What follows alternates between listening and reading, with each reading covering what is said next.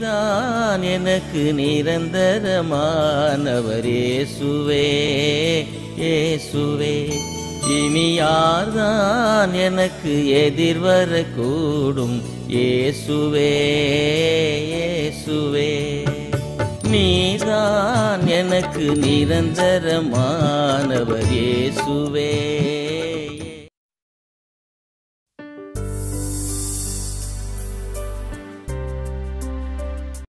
மதிப்புக்குரிய நம்ம ஐயா அவர்களை அறுபத்தி நாலு வயசு ஆகிறது எழுந்து நின்று நம்ம கனம் படித்து கரங்களை தட்டி தேவ மனிதனும் அப்படியே கண்ண முடி ஒரு நிமிஷம் ஆண்டவர் நோக்கி பார்ப்போம்.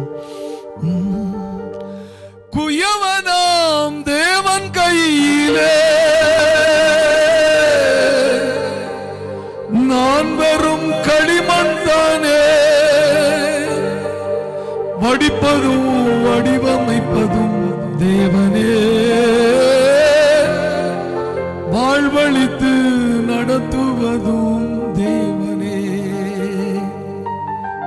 என்னிலே தகுதி ஏதும் இல்லையே.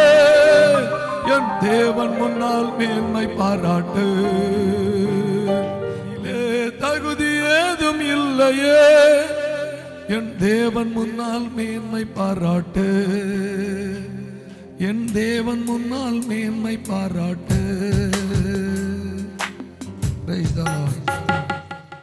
Praise பரிசுத்த நாம மகிமைப்படுவதாக இந்த நாளில் உங்கள் மத்தியில் வந்து நிற்பதை குறித்து நான் மிகவும் சந்தோஷப்படுகிறேன்.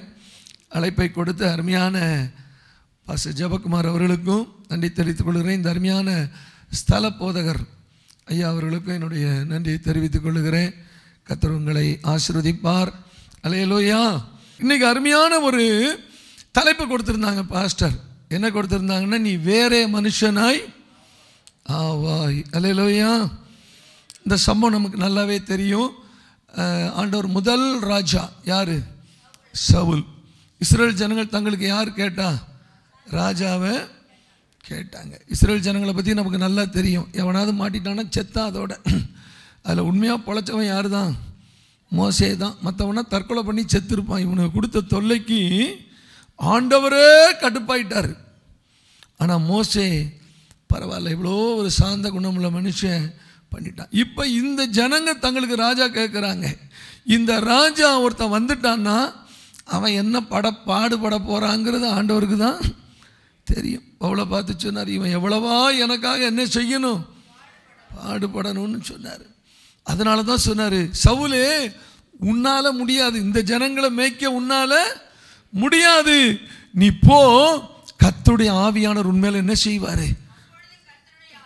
ஆ. உண்மையில் இறங்குவார். தீர்க்க தரிசனம் சொல்லி என்னாவ? வேறே மனுஷனாய் ஆவாய். இப்ப இருக்கிற மனுஷனை வச்சுக்கிட்டு நீ சாதிக்க முடியவே முடியாது. அதனால தான் எபேசியர்லையும் கொலசியர்லையும் பவுல் சொல்றாரு பழைய மனுஷனை எபேசியர் நாலு இருபத்தி ரெண்டுல சொல்றாருல எபேசியர் நாலு இருபத்தி ரெண்டுல சொல்றாரு நீங்கள் நீங்க மோ அந்த பழைய மனுஷனை என்ன பண்ணுங்க? களைந்து போட்டு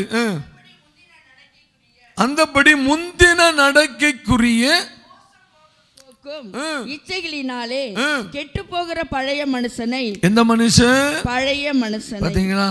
பழைய மனுஷனை வச்சுக்கிட்டு எதையும் சாதிக்க முடியவே நீங்கள் கொலோஸ் கொலோசியர் மூணாம் அதிகாரம் ஒன்பதாம் வசனத்தை வாசிங்க. கொலோசியர் மூணாம் அதிகாரம் ஒன்பதாம் வசனம். அங்கேயும் அதான் சொல்றாரு. கொலோசியர் மூணு ஒன்பது. ஒருவருக்கொருவர் பொய் சொல்லாதிருங்கள். பழைய மனுஷனையும் பழைய மனுஷனையும் அவன் செய்கைகளையும் களைந்து போட்டு. அப்ப நல்லா தெரியுங்க நமக்குள்ளே யார் இருக்கிறா? ஒரு பழைய மனுஷன் இருக்கிறான். அந்த மனுஷனை விரட்டி அடிச்சு வேறே மனுஷன் ஆனாதான் என்ன செய்ய முடியும்? ஆண்டவர் எதிர்பார்க்கிற சாதனைகளை நாம செய்ய முடியும். கைத்தட்டி கதருக்கு ஸ்தோத்திரம் செலுத்துவோம். அல்லேலூயா. சரி. இன்னைக்கு ஒரு சின்ன ஒரு காரியத்தை மட்டும் நம்ம தியானிக்க போறோம். ஆண்டவர் ஒரு காரியத்தை சொல்றார். எண்ணாகமம் பதினான்காம் அதிகாரம் இருபத்தி நான்காவது வசனத்துல எண்ணாகமம் பதினான்காம் அதிகாரம் இருபத்தி நான்காவது வசனத்துல ஆண்டவர். அஹ், பதினான்கு இருபத்தி நான்குல ஆண்டவர் சொல்றாரு. என்னுடைய தாசனாகிய காலை வேறே ஆவிய உடையவனாய் என்னுடைய இருக்கிறபடியினால் தாசனாகிய காலே வேறே ஆவிய உடையவனாய் இருக்கிறபடியினால் எந்த ஆவி? வேறே ஆவி. இப்ப சவுல பார்த்து என்ன சொன்னாங்க? கர்த்தருடைய ஆவி உன் மேல வருவார் நீ என்ன மனுஷன் ஆயிடுவ வேறே மனுஷன். இப்ப காலேபுக்கு என்ன ஆவி இருக்குது? சொல்லுங்க. என்ன ஆவி? வேற ஆவி இருக்கிறதுனால அவன் யார்? எந்த மனுஷன் ஆயிட்டான் வேற மனுஷன் ஆயிட்டான் இந்த தாசனாகிய காலே வேறே ஆவியை உடையவனாய் இருக்கிறபடியினாலும் உத்தமமாய் பின் என்னை பின்பற்றினபடியினாலும் ஒருத்தனுக்கு வேற ஆவி வந்துருச்சுன்னா அவன் எப்படி பின்பற்றுவான்? உத்தமமாய். உத்தமமாய்? என்னை பின்பற்றபடியினாலும். அவன் போய் வந்த அவன் தேசத்திலே போய் வந்த தேசத்திலே தேசத்தை சேர பண்ணுவேன் சரி நல்ல கவனமா கேட்போம். இப்போ நம்ம ஊழியர்கள் இருக்கிறாங்க விசுவாசி உங்க சபையில கூட கிட்ட ஒரு இருபத்தி நாலு பேர் வந்திருக்காங்கன்னு நினைக்கிறேன். அப்படிதானே பிரைஸ் அலாட் அலையலோயா எல்லாருமே இருக்கிறோம். ஆமேன். எல்லாருக்கும் ஒரு பெரிய ஆசை இருக்குது. என்ன ஆசை தெரியுமா? வாழ்க்கையில் ஒரு நல்ல நிலைமை என்ன செய்யணும்? அடது எங்களை பொறுத்தவரையும் நல்ல நிலைமை எது தெரியுமா? ஊழியக்காரர்களுக்கு விசுவாசிகள் தான். பிரைஸ் பவுல் சொன்னார் எங்களுக்கு கிரீடமும் மகிழ்ச்சியும் யார்? நீங்கள் தான் நீங்கள் நூறு பேர் வந்துட்டீங்கன்னா எனக்கு அவ்வளோ சந்தோஷம். நீங்கள் ஆயிரம் பேர் வந்துட்டால் எனக்கு அதை விட பெரிய சந்தோஷம். எங்கள் அப்பா எங்கள் அப்பா பாஸ்டராக தான் இருந்தாங்க. அவங்களுடைய கண்ணீர் ஜபத்தினால தான் நான் எங்கள் அப்பா அம்மா விட்ட ஜப கண்ணீர் தான் நான் ஊழியத்துக்கு வந்தேன். இப்போ கவனிங்க வந்து ஒரு பெரிய ஆசை. ஊழியத்துக்கு நான் வரக்கூடாதுன்னு இருந்த அப்புறம் வந்துட்டேன். இப்போ எங்கள் அப்பா என்கிட்ட விட்டுட்டு போகும்போது ஒரு நூறு பேருக்குள்ளே தான் இருந்தாங்க. ஆனால் கடுமையாக ஊழியங்களை செய்யும்போது அது இரநூறு ஆணிச்சு ஐயோ என்ன சந்தோஷம். முந்நூறு ஆணிச்சு அவ்வளோ சந்தோஷம். ஐநூறு ஆணிச்சு அவ்வளோ சந்தோஷம். நான் எப்போதுமே கண்ணை மூடி பிரசங்கம் பண்ணும்போது எனக்கு முன்னால் மயில் கணக்காக ஆள் உட்காந்துருக்க மாதிரி தான் நினச்சிக்குவேன். ஏ அப்போ அந்த பாருங்க ஒரு கிலோமீட்டருக்கு அங்கிட்டு யாரோ உட்காந்துருக்காங்கல்ல அப்படி தான் நினச்சிக்குவேன். அப்புறம் ஆயிரம் பேர் வந்தாங்க. அப்புறம் ரெண்டாயிரம் பேர் வந்தாங்க. ஏழு முறை விரிவாக்கம் பண்ணினோம். அப்புறம் அந்த இடம் பத்தில். அப்புறம் ஜெபம் பண்ணோம். ஆண்டவர் பாருங்கள் இப்போ எங்கள் சபை இருக்கிற இடம் இருபத்தி ரெண்டு ஏக்கர் இடத்த கத்தர் கொடுத்தார். அலையிலோயா இப்போ கிட்டத்தட்ட அப்படியே வளர்ந்து வளர்ந்து வளர்ந்து இன்னைக்கு எங்கள் திருச்சபையில் ஞானசாரம் எடுத்தவங்க இருபத்தஞ்சாயிரம் பேர் தாண்டி இருக்காங்க.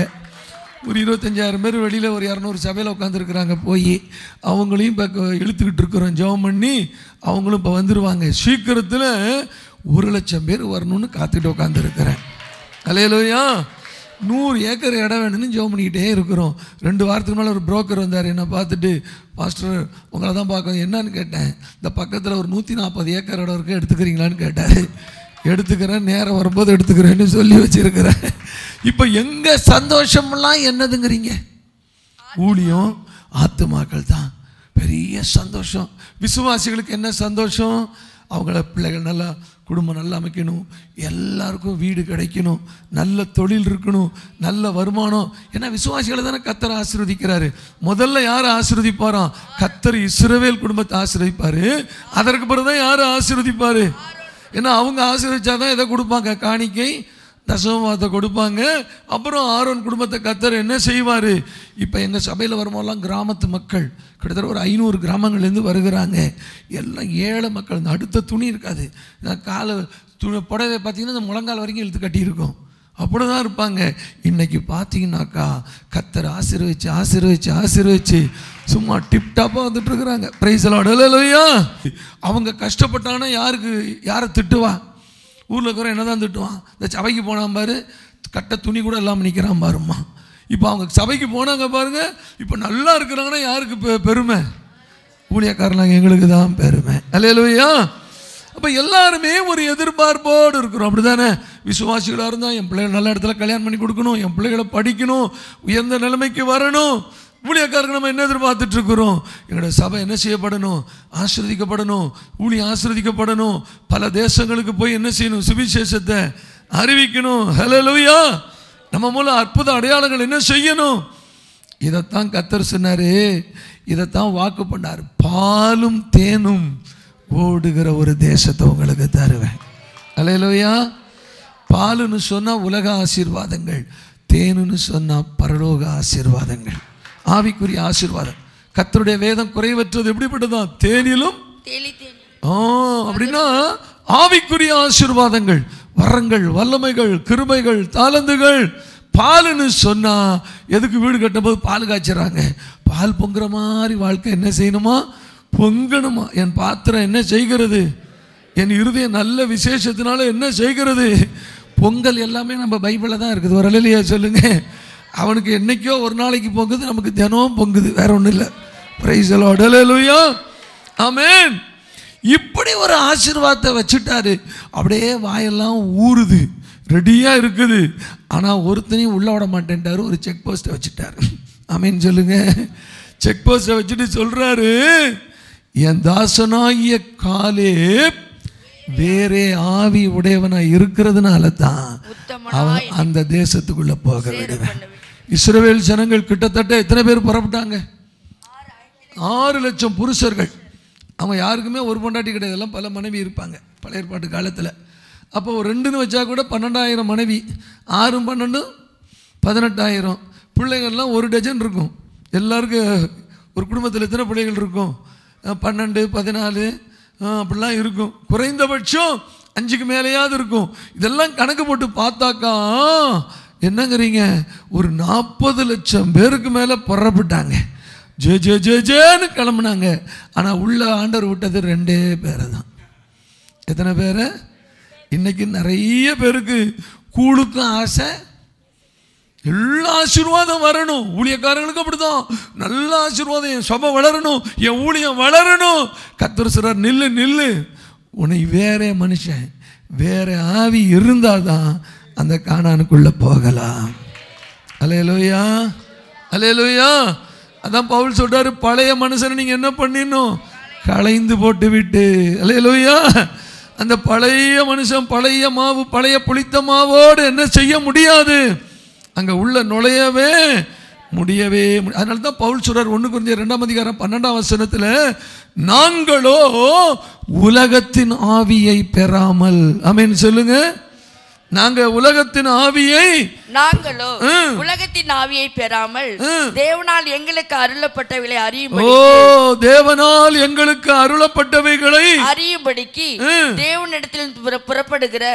ஆவியை பெற்றோம் ஓ ஒரு அலையிலையா சொல்லுங்க ஆமென் இப்போ நல்ல கவனிங்க நம்முடைய வாழ்க்கையிலே ஊழியக்காரங்களாக இருக்கட்டும் விசுவாசிகளாக இருக்கட்டும் நம்ம ரொம்ப ஆசிர்வதிக்கப்படணும் விருத்தி அடையணும் மேன்மை அடையணும் நம்ம டார்ஜெட்டை அடையணும்னு சொன்னால் அடிப்படை தேவை. நம்முடைய ஆவி என்ன செய்யணும்?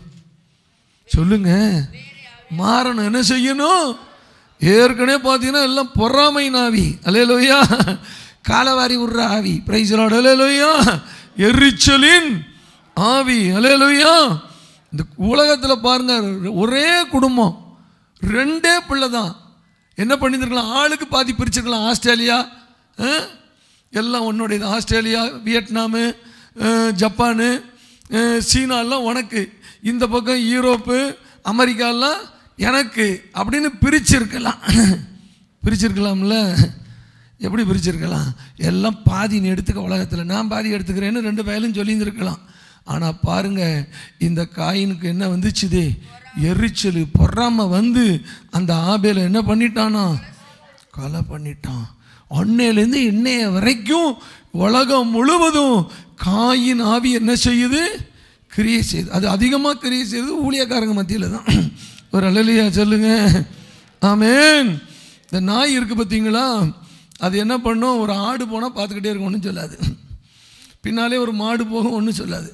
ஒரு கழுதை போகும். ஏன்? சிங்கம் வந்தால் கூட ஒன்றும் சொல்லாது. ஆனால் இன்னொரு நாய் போணுச்சுன்னு வச்சிங்களேன். இங்கேருந்து ஆரம்பிக்கும் என்னது? அவ்வளோதான் இன்னைக்கும் நமக்கு வேற எதிரி எங்கேயுமே கிடையாது. நம்ம ஆளுதான் எதிரி.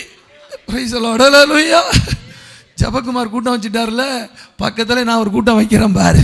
பிரைசலோடலையா ஆமாம் சரி. அதனால ஆண்டு சொல்லிட்டாரு இந்த உலகத்தின் ஆவி இருந்துச்சுன்னா நீ உருப்பிடவே முடியாது.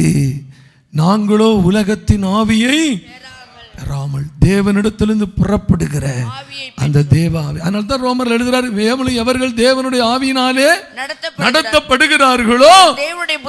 அவர்கள் தான் யாருங்க? சரி இப்போ நான் சுருக்கமாக கிடக்குன்னு சொல்லி முடிச்சிடுறேன். அல்ல இல்லையா இப்போ நம்ம ஆவி என்ன செய்யணும்? மாறணும். சொல்லுங்க.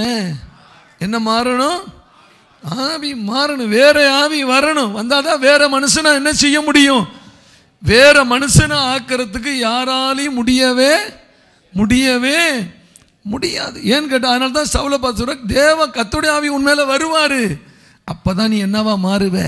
வேற மனுஷனாய் மாறுவாய். அலையலோயா சரி இந்த வேதத்தில் ஆண்டவர் சொல்லுகிற ஒரு சில அந்த ஆவி நம்ம இடத்துல இருக்கான்னு பார்க்கணும். பிரைஸ்லோட அலையலோயா நமக்கு நல்ல தெரிஞ்ச ஒரு வசனம் முப்பத்தி ரெண்டாம் சங்கீதம் ஒன்றாம் வசனம் ரெண்டாம் வசனத்தில் வாசிக்கும் போது எவனுடைய எவனுடைய பாவம் மீறுதல் மன்னிக்கப்பட்டதோ எவனுடைய பாவம் மூடப்பட்டதோ அவன் பாக்கியவான். எவனுடைய அக்கிரமத்தை கர்த்தர் எண்ணாதிருக்கிறாரோ எவனுடைய ஆவியில் கபடம் இல்லாதிருக்கிறதோ எவனுடைய ஆவியில் கபடம் இல்லாதிருக்கிறதோ அவன் பாக்கியவான். ஆமென் சொல்லுங்க. இப்ப கவனிங்க இது என்ன ஆவி தெரியுமா? கபடமில்லாத ஒரு ஆவி. சொல்லுங்க அல்லேலூயா ஆமென் என்ன ஆவி? கபடு அதனால தான் தாவி சொல்றாரு கபடு செய்கிறவன் என் வீட்டுக்குள் இருப்பது இல்லை. ஆண்டவரே சுத்த இருதயத்தை என்னில் என்ன செய்யும்? சிருஷ்டியும். அல்லேலூயா மாறுபாடான இருதயம் என்னை விட்டு என்ன செய்யணும்? அகலணும். பொல்லாத இப்ப எவனுடைய ஆவியில கபடம் இல்லாது இருக்கிறதோ அவன் யாரு? பாக்கியவான். அப்படின்னா கபடம்னா உங்களுக்கு என்னன்னு தெரியும். கபடம்னா என்னது? மாய்மாலன்னு அர்த்தம். என்னது? மாய்மாலம். கபடம்னு சொன்னாலே ஏமாத்துறது. உள்ள ஒன்று வச்சு வெளியே ஒன்று பேசுறது. நான் அடிக்கடி தான் சொல்லுவேன். கபடம் இல்லாத இருதய உள்ளவங்க எங்கே இருந்தாலும் ஆண்டவர் கண்டுபிடிச்சிடுவார். ஆமென். சொல்லுங்க. நாத்தான் வேல் இயேசுவிடத்தில் வருகிறான். இயேசு சொல்கிறாரு இதோ கபடற்ற உத்தம. இயேசு நாத்தான் வேலை தமிழத்தில் வர கண்டு அவனை குறித்து. இதோ கபடற்ற உத்தம இஸ்ரவேலன் அப்பா, அவனுக்கு ஆச்சரியம். நான் எங்கேயோ கிடக்குறேன். இவருக்கு அப்படி தெரியும்? ஏய் முழிக்காத. அத்தி மரத்துல கீழே இருக்கும் போதே நான் உன்னை கண்டேன்னு சொன்னார். அல்லேலூயா. சொல்லிட்டு சொல்றாரு இதுக்கு ஆச்சரியப்படாத. நீ கபட இல்லாம இருந்தே இருந்துட்டு இல்ல இனிமேல் உன் வாழ்க்கையில இதிலும் பெரிதானவைகளை காண்பாய். சொல்லுங்க ஒரு அலையலுயா சொல்லுங்க. அலையலுயா ஆமென். சரி இப்போ அப்படியே யோசனை பண்ணி பார்ப்போம். இன்னைக்கு நிறைய பேருடைய வாழ்க்கை என்ன நிறைந்ததா இருக்கிறது? கபடம் மாய்மாலும் நிறைந்ததா இருக்கிறது. அலையலுயா ஆமென். வேதம் சொல்லுது உள்ளதை உள்ளதென்றும் இல்லதை? சொல்லுங்க அதுக்கு மிஞ்சினது என்னவா இருக்கும்? பாவமா இருக்கும். அல்லையா சரி நிறைய உதாரணங்களை நான் சொல்ல முடியும். ஆண்டவர் நம்முடைய கபடில்லாத நிலைமையை கவனித்து பார்க்குறாரு. நான் தான் சொல்ல நீ உலகத்தில் எந்த மூலையில் இருந்தாலும் சரி உன்னை யாருமே கண்டுக்கலனாலும் பரவாயில்ல. நீ கபடு இல்லாமல் இருந்துட்டின்னா உன்னை கரெக்டாக கத்தர் நோட் பண்ணிவிடுவார் இவன் தான் எனக்கு தேவை. இவனை வச்சு தான் நான் என்ன செய்ய முடியும்? கிரியை செய்ய முடியும். அல்லேலூயா. இப்போ நீங்கள் நினைக்கலாம் ஆண்டவரே பொய் சொல்கிறோம் ப்ராடு பண்ணுறவன் அவன் தானே டாப்பில் இருக்கிறான்னு சொல்லி. டாப்பில் இருக்கிற மாதிரி தெரியும். ஆனால் உண்மையிலே டாப்பில் இல்லை. நீங்கள் கபடு இல்லாமல் இருந்தீங்கன்னா உங்களை தான் டாப்பில் கத்தர் வச்சுருப்பார். இல்லையா நீங்கள் அவனுக்கு வீடெல்லாம் பாருங்களேன் ஒரு சமாதானம் வீட்டில் இருக்காது. காசு இருக்கும் பணம் இருக்கும் ஆடி கார் இருக்கும் ஆனால் ஆடிக்கிட்டே தான் இருப்பான். அலையலோயா நிம்மதி இருக்கவே நீங்களும் நானும் விட்டா இங்கேயே படுத்து தூங்கிடும் அவன் ஏன்னா எந்த கவலையும் இல்லை. ஏன்னா நம்ம ஒழுங்காக இருக்கிறோம். கர்த்தர் நம்மளை ஆசீர்வதிக்கிறாரு. நிம்மதியாக தூங்கிட்டு இருக்கிறோம். நம்ம குடும்பம் நிம்மதியாக இருக்குது நம்ம பிள்ளைகள்லாம் நம்மளோட சந்தோஷமாக இருக்கிறாங்க. அலையலோயா இதை விட ஒரு சந்தோஷம் உலகத்தில் எதுவுமே கிடையாது. அதாவது ஒரு சொல்கிறாரு அவர்களுக்கு தானியமும் திராட்சை ரசமும் பெருகி இருக்கிற காலத்தின் சந்தோஷத்தை பார்க்கலாம் அதிக சந்தோஷத்தை தந்தார் அலையலோயா பாருங்க ஒவ்வொரு காலத்திலும் ஒரு சந்தோஷம் இருக்கு. சின்ன வயசுல எல்லாரும் நம்மளை முத்தம் கொடுப்பாங்க. வரவங்களாம் தூக்கி கொஞ்சுவாங்க ஒரு சந்தோஷம். அப்புறம் பள்ளிக்கூடத்தில் கொண்டு விடுவாங்க. படிக்கும்போது சந்தோஷம்.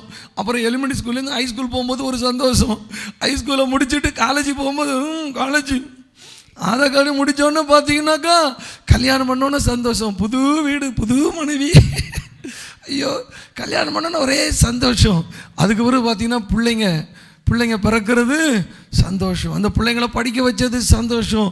அந்த பிள்ளைகளை கல்யாணம் பண்ணி கொடுத்தது பெரிய சந்தோஷம். அப்புறம் அந்த பேர பிள்ளைகளை பார்த்தோம் பார்த்தீங்களா அது எல்லாத்த விட பெரிய சந்தோஷம். அல்லேலூயா நான் அடிக்கடி சொல்லுவேன் எங்கள் மச்சானை பார்க்க போயிருந்தேன். அவரும் ஒரு பாஸ்டர் தான்.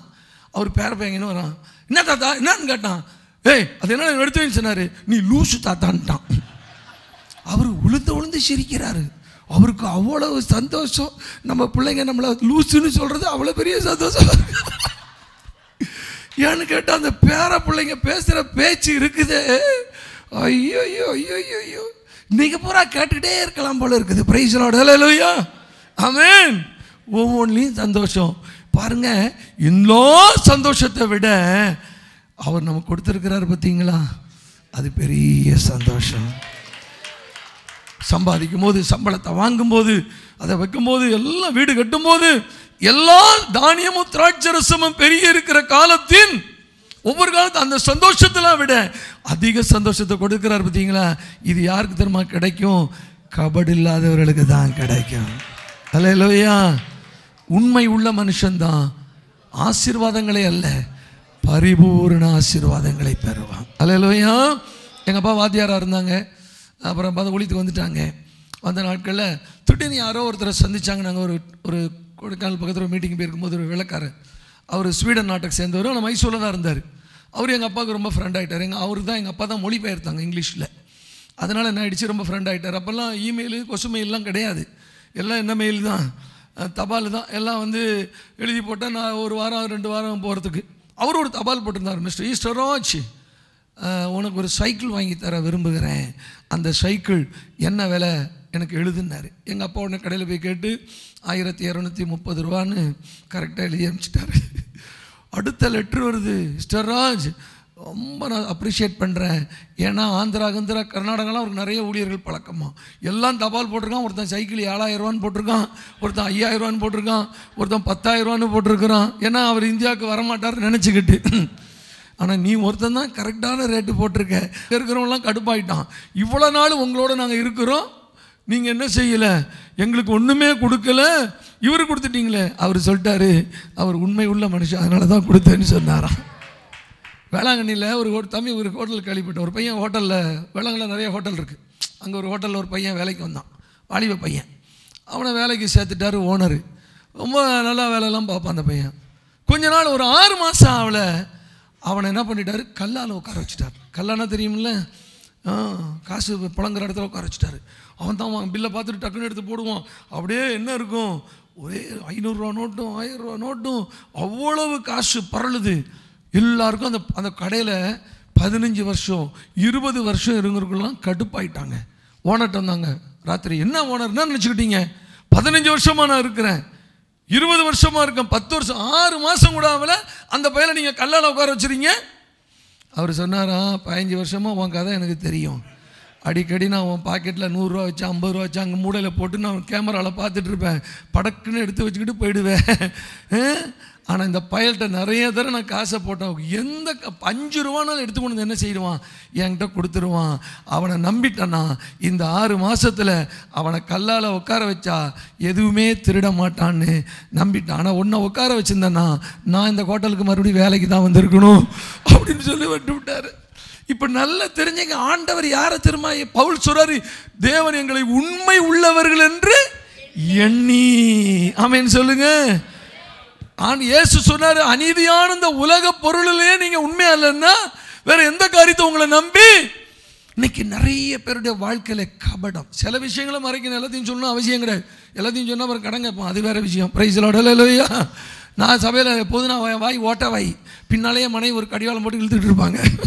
யாருனாலும் உடனே சொல்லி தொலைச்சிடுவேன் ஆனால் நம்முடைய வாழ்க்கையில் எப்போதும் இந்த உண்மையாக நடக்க முயற்சி பண்ணிட்டோம்னா நாம தான் ஆசீர்வாதங்களை சோதர இந்த தேசத்தை அசைக்க யாரால முடியும்? உண்மை உள்ளவர்களால தான் முடியும். அல்லேலூயா. எவனுடைய ஆவியில் கபடம் இல்லாதிருக்கிறதோ அவன் பாக்கியவான். அல்லேலூயா. நான் அந்த சம்பவத்தை எங்கே போனாலும் நான் சொல்லுவேன். அதை உங்களுக்கு சொல்லிடுறேன். ஒரு சமயம் ஒரு ஊழியக்காரர் எங்கள் சபைக்கு வந்திருந்தார். அவர் சொன்ன சம்பவம். அவர் இங்கே மெட்ராஸ் தான். அவர் பேரை சொல்லலைன்னா சொல்லிடுறேன். அவர் என்ன பண்ணார்? ஒரு சம்பவத்தை சொன்னார். அவர் ஒரு நாள் காலங்காத்தால் பைக் எடுத்துகிட்டு பையனை உட்கார வச்சுட்டு ஒரு கீபோர்டை பிடிக்க சொல்லிட்டு சர்ன்னு இங்கே மெட்ராஸில் ஒரு மீட்டிங் வந்துட்டு இருந்திருக்கிறார். ஒரு உபவாச கூட்டம். அவர் அந்த காலத்தில் அவர் தான் ஒர்ஷிப் லீடர் இப்போ தானே நிறைய ஒர்ஷிப் லீடர்லாம் வந்திருக்காங்க. அவர் தான் பாட்டு பாடுவார் அவர் தான் ஒர்ஷிப் பண்ணுவார். போயிட்டே இருக்கும்போது டக்குன்னு இந்த தம்பி சொன்னான் என்ன அந்த அக்கா நம்மளை ஜபத்தம் பண்ணிட்டு வீட்டுக்கு ஒரு ஜெபம் பண்ண போக சொன்னாங்களே அப்படின்னு சொன்னோன்னே அந்த ஞாபகம் வந்துருச்சான் உடனே சொன்னார் இல்லைடா இல்லைண்ணே அவங்கள போய் பார்த்துட்டு போயிடுவோன்னேன்னு சொல்லியிருந்துருக்கிறான். சரி நாங்கள் போய் அந்த ஒரு டீச்சர் போல இருக்கு. அவங்க வீட்டில் போய் சிஸ்டர் நான் அர்ஜென்ட்டாக மீட்டிங் போயிட்டுருக்கேன். நீங்கள் அன்றைக்கி வர சொன்னீங்க. நான் ஒரு ஜோம் பண்ணிட்டு போகிறேன்னு ஜோம் பண்ண போனேன் அந்த சிஸ்டர் இருக்கிறாங்க பார்த்தீங்களா காலங்காத்தால் டிஃபன் செஞ்சுருக்கிறாங்க. என்ன செஞ்சுருக்கிறாங்க? டிஃபன் செஞ்சுருக்கிறாங்க. இப்போ தான் யாரும் டிஃபன் செய்யறது கிடையாது. அஹ் என்னது? பக்கத்துலேயே நாலு இட்லியை வாங்கி சாப்பிட்றது. அவ்வளோ அருமையாக அவங்க செஞ்சுருக்கிறாங்க. அது இப்போ இந்த போய் நல்ல ஒரு சட்னி தாளிச்சிருக்கிறாங்க பாருங்கள் சூப்பரான ஒரு வாடை வந்திருக்குது. சில பேர்லாம் எந்த குழம்பு வச்சாலும் ஒரு வாடை என்ன செய்யாது. கறி குழம்பும் அப்படி தான் இருக்கும். மீன் குழம்பும் எல்லா புளிக்குழம்பு மாதிரி தான் இருக்கும். வேற வழியே இல்லாமல் பிரைஸ் லூயா ஆமென் ஒரு நாள் ஒருத்தர் வசனம் படிச்சிருந்தாராம். சாவுக்கு ஏதுவான யாதொன்றை குடித்தாலும் ஒன்றும் உங்களை சேதப்படுத்தாது. அண்டவரே உண்மை உள்ள தேவன். மனை கட்டணம் ஏன் அப்படி சொல்கிறீங்க முப்பது வருஷமாக உன் சமையல சாப்பிட்டுட்டு இருக்கிறல்ல முப்பது வருஷமாக சாப்பிட்ருக்க எனக்கு ஒன்றுமே செய்யல ஏன்னா அந்த அம்மா வைக்கிற குழம்பு விஷமாக இருக்கும் போல இருக்கு. ஆனால் அந்த டீச்சர் நல்ல ஒரு குழம்பு வச்சு ஒரு டிஃபன் செஞ்ச உடனே இவர் என்ன பண்ணிட்டாரு? அப்படியே நல்லா சாப்பிட்டார். ரெண்டு இட்லி சாப்பிட்டாரு அப்புறம் அஞ்சு ஆறு ஏழு எட்டுன்னு போயிடுச்சு. தாவிது வர வர என்னன்னா விருத்தி அடைஞ்ச மாதிரி சாப்பிட்டு தொலைச்சிட்டாரு. சாப்பிட்ட பிறகு அங்கே போனால் உபவாச கூட்டம். ஜனங்களெல்லாம் அழுதுட்டு இயேசுவே தேசத்தை இவருக்கு மனசு கஷ்டமாக போயிடுச்சு. என்னடா எல்லாம் உபாசத்தை வந்திருக்காங்க நம்ம நல்லா ஃபுல் கட்டு கட்டிட்டு வந்திருக்கிறோம். இவருக்கு சான்ஸ் வந்துன்னு சொன்னாராம் நீங்கள்லாம் நல்ல உபாசத்தில் வந்திருக்கீங்க. இப்போ நாங்களாம் சாப்பிட்டுட்டு வந்துட்டோம் நான்லாம் அப்படின்னு சொன்னால் அவங்களாம் அதை கண்டுக்கவே இல்லையா? ஆனால் அன்னைக்கு அவர் ஆண்டவரை துதித்து ஆராதனை நடத்தி இந்த ஆல்டர்காலெலாம் கொடுக்கும்போது இன்று வரைக்கும் பார்க்காத ஒரு பெரிய அசைவை பார்த்தாராம். ஏராளமான மக்கள் ஒப்பு கொடுத்தாங்க. ஏராளமான மக்கள் ஆண்டவரத்தில் வந்தாங்க. அன்னைக்கு ஒரு பெரிய ஒரு பிரேக் த்ரூ அன்னைக்கு வந்துருச்சு தான் முடிஞ்சுது. கூட்டம் முடிஞ்சு வீட்டுக்கு வந்தேன்னு கேட்டார் ஆண்டவர்கிட்ட ஆண்டவரே உபவாசம் போட்டெல்லாம் எத்தனை கூட்டத்துக்கு போனால் அங்கெல்லாம் ஒன்றும் நடக்கலை. நல்ல மூக்கு பிடிக்க தின்னுட்டு போனேன். அங்கே போனப்போ இவ்வளோ நடந்திருக்குது. ஏன்னு கேட்டாரான் கத்தர் சொன்னார் அந்த பேர் உன் உபவாசத்தை பார்த்து இன்றைக்கி நான் கிரியை செய்யலை. நான் சாப்பிட்டுட்டேன்னு ஒத்துக்கிட்டு இல்லை உன் உண்மையை பார்த்து தான் இன்றைக்கி கிரியை செஞ்சுருக்கேன். ஹalleluya ஆமென் நிறைய நேரத்தில் நம்முடைய அல்டா உல்டாலாம் கத்துறேன் பார்க்கலாம் மாட்டாரு. ஹalleluya இருதயத்தில் சுத்தமுள்ளவர்கள் பாக்கியவான்கள். அவர்கள் தான் தேவனை என்ன செய்வார்கள்? குடும்பத்தில் உண்மையாக இருக்கணும். நம்ம கொடுக்கப்பட்ட ஊழியத்தில் எப்படி இருக்கணும்? உண்மையாக நம்ம கொடுக்கப்பட்ட நேரத்தில் எப்படி இருக்கணும்? நம்ம உண்மை இல்லாதவங்கள நமக்கு பிடிக்குமா பிடிக்காதா? பிடிக்காது பிடிக்காது. நான் நிறைய ஊழியர்களும் உதவி செய்வேன். ஒரு நாள் காலங்காத்தில் ஒரு ஊழியக்காரர் வந்தார். ஒரு ஏழு மணி எட்டு மணிக்கு காலங்காத்தில் ஐயா உங்களை தான் பார்க்க வந்தேன்னாரு. சமயத்தில் இப்படி தான் நிறைய பேர் உங்களை தான் பார்க்க வந்தேம்பாங்க. நான் என்ன பண்ணுறது பார்த்துங்கங்கிறது. வந்துட்டாரு. வந்த உடனே சரி உட்கார வச்சு அம்மா நம்மளை தானே பார்க்க நேரம் இங்கே தான் அவர் நேரம் உங்களை பார்க்க வந்துட்டேன் சரி பல்லுகளும் விளக்குனீங்களான்னு கடையில் விளக்கிட்டு வந்துட்டேன்னாரு. அப்புறம் டிஃபன்லாம் கொடுத்து கொடுத்துட்டு சரி பரவாயில்ல இவருக்கு என்னன்னு கேட்டேன். அவங்க ஜப விடு சாஞ்சிருச்சுன்னாரு. எங்கே பார்த்தாலும் என்ன சாயுது இப்போ? எல்லாம் கீத்து கொட்டாயாக இருக்கிறனால சாஞ்சிட்டு இருக்குன்னு சொல்லி சரி ஏதாவது ஒரு பெரிய தொகையை கொடுக்குன்னு நானும் மனசில் நினச்சிக்கிட்டு ரெடி பண்ணி உட்காந்துருக்கோம் பே பேசிகிட்டு இருக்கிறோம் நான் அதுக்குள்ளே பிள்ளைகள் ஸ்கூல் கிளம்பிட்டு இருக்கிறாங்க அவங்கள கொண்டு விடணும். எல்லாம் ரெடி பண்ணுறதுக்குள்ளார இன்னொரு பிரதர் வந்தார் ஐஎம்லேருந்து நாங்கள் நிறைய மிஷினரிகளுக்கு ஹெல்ப் பண்ணுவோம். மாதம் மாதம் ஒரு ஸ்தாபனக்காரங்க வருவாங்க. அவங்களுக்கு ரெண்டாயிரம் மூவாயிரம் ஐயாயிரம்னு கொடுப்போம். அவர் அந்த ரசீது புக் எடுத்துக்கிட்டு என்னை பார்க்க வந்தார். வந்தோடனே இவரை பார்த்தோன்னே ஐயா சோதனை நல்லா இருக்கீங்களா? எங்கே ஐயா பார்க்க வந்துட்டீங்க? அப்படின்னாரு. நான் கேட்டேன் இவர் தெரியுமா உங்களுக்கு? இப்போ தான் நான் டீச்சர் வீட்டில் வர பார்த்தேன்னாரு. எங்களுக்கு எத்தாப்புல போலீஸ் குவார்ட்டர்ஸ் இருக்குது. அங்கே ஒரு டீச்சர் வீட்டுக்கு வந்துட்டு வந்திருக்காரு அங்கே ஒரு ஆறு இட்லி தின்னுட்டு தான் என்ன பண்ணியிருக்கிறாரு வந்திருக்கிறாரு. இல்லைங்க இவர் நேராக எங்கள் வீட்டு தான் வந்திருக்கிறாருன்னு. இல்லைப்பா சார் இப்போ காலைல ஏழு மணிக்கு அந்த டீச்சர் வீட்டில் நான் பார்த்தேன் சாப்பிட்டுட்டு இருந்தாரு. நான் அவரை பார்க்க அவர் என்ன பார்க்க நான் அவரை பார்க்க அவர் அப்படியே என்ன பண்ணுறாரு அப்படியே என்ன பண்ணுறாரு நெளியிறாரு. அப்படியே பாம்பு மாதிரி என்ன பண்ணுறாரு நெளியிற சொன்ன நெளியாத. கிளம்பு. நான் நினச்சது ஒரு பெரிய தொகை. ஒரு நூறுரூவா மட்டும் கொடுத்துட்டு கும்பிட்றேன் போயிட்டு வந்தேன். அன்னைக்கு அப்படி தான் ஒருத்தர் இங்கேருந்து ஒருத்தர் வந்தார் ஊழியக்காரர் ஒருத்தர். யார்? பிலிப் கோபாலா? அன்னைக்கு ஊழியத்தில் அன்னைக்கு முழு ஜபத்தில் பாடெல்லாம் விட்டேன். நல்ல பாட்டெலாம் பாடினாரு. காலையில் நான் நான் வந்து அன்றைக்கி எப்பா வெள்ளிக்கிழமை சனிக்கு சனிக்கிழமை. இருந்துட்டு போ நாளைக்கு காலையில் எங்கள் ஆராதனையில் கலந்துட்டு போன்னு சொல்லி அவருக்கு ஒரு ஐயாயிரம் காணிக்கையும் கொடுத்தேன் ஒரு ரெண்டு மூணு பாட்டு தான் பாடினார். ஐயாயிரம் காணிக்கை கொடுத்துட்டு நீ இருயான்னு சொன்னேன் இல்லை இல்லை இன்னைக்கு சனிக்கிழமை சாயங்காலம் நான் சென்னையில் ஒரு இடத்துல இருக்கணும்னாரு. நிஜமாவா சொல்கிறேன் ஆமாம் அஞ்சு மணிக்கு நாங்கள் இருக்கணும்னாரு. சரி தொலைக்கு போன்னு அனுப்பிச்சி விட்டுட்டேன்.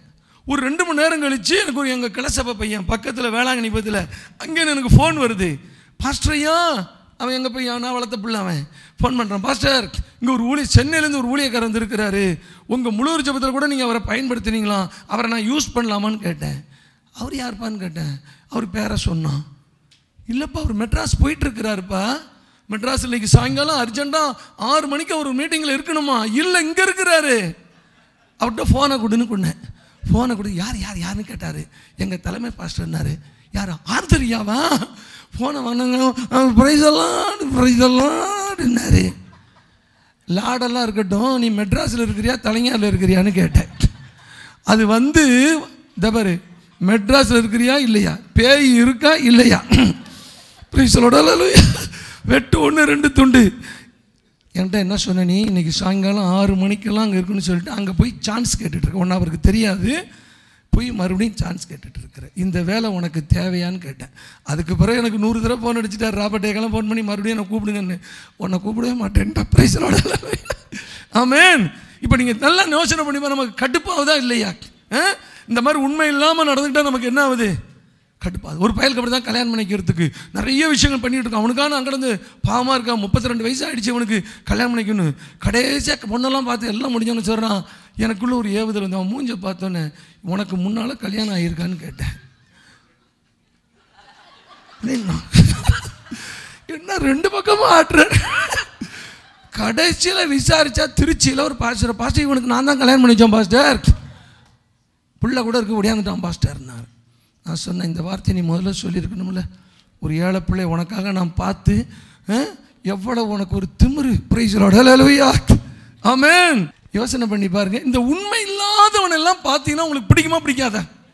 அப்போ இப்போ யோசனை பண்ணி பாருங்க. நம்ம உண்மையாக இருந்தால் ஆண்டவருக்கு பிடிக்கும். நம்ம உண்மையாக இல்லைன்னாக்கா பிடிக்கவே க- நம்மளை பார்க்கும் போதெல்லாம் கடுப்பாக வர ஆண்டவர். தாவி இது ஒரு விபச்சாரம் பண்ணவன் தான்.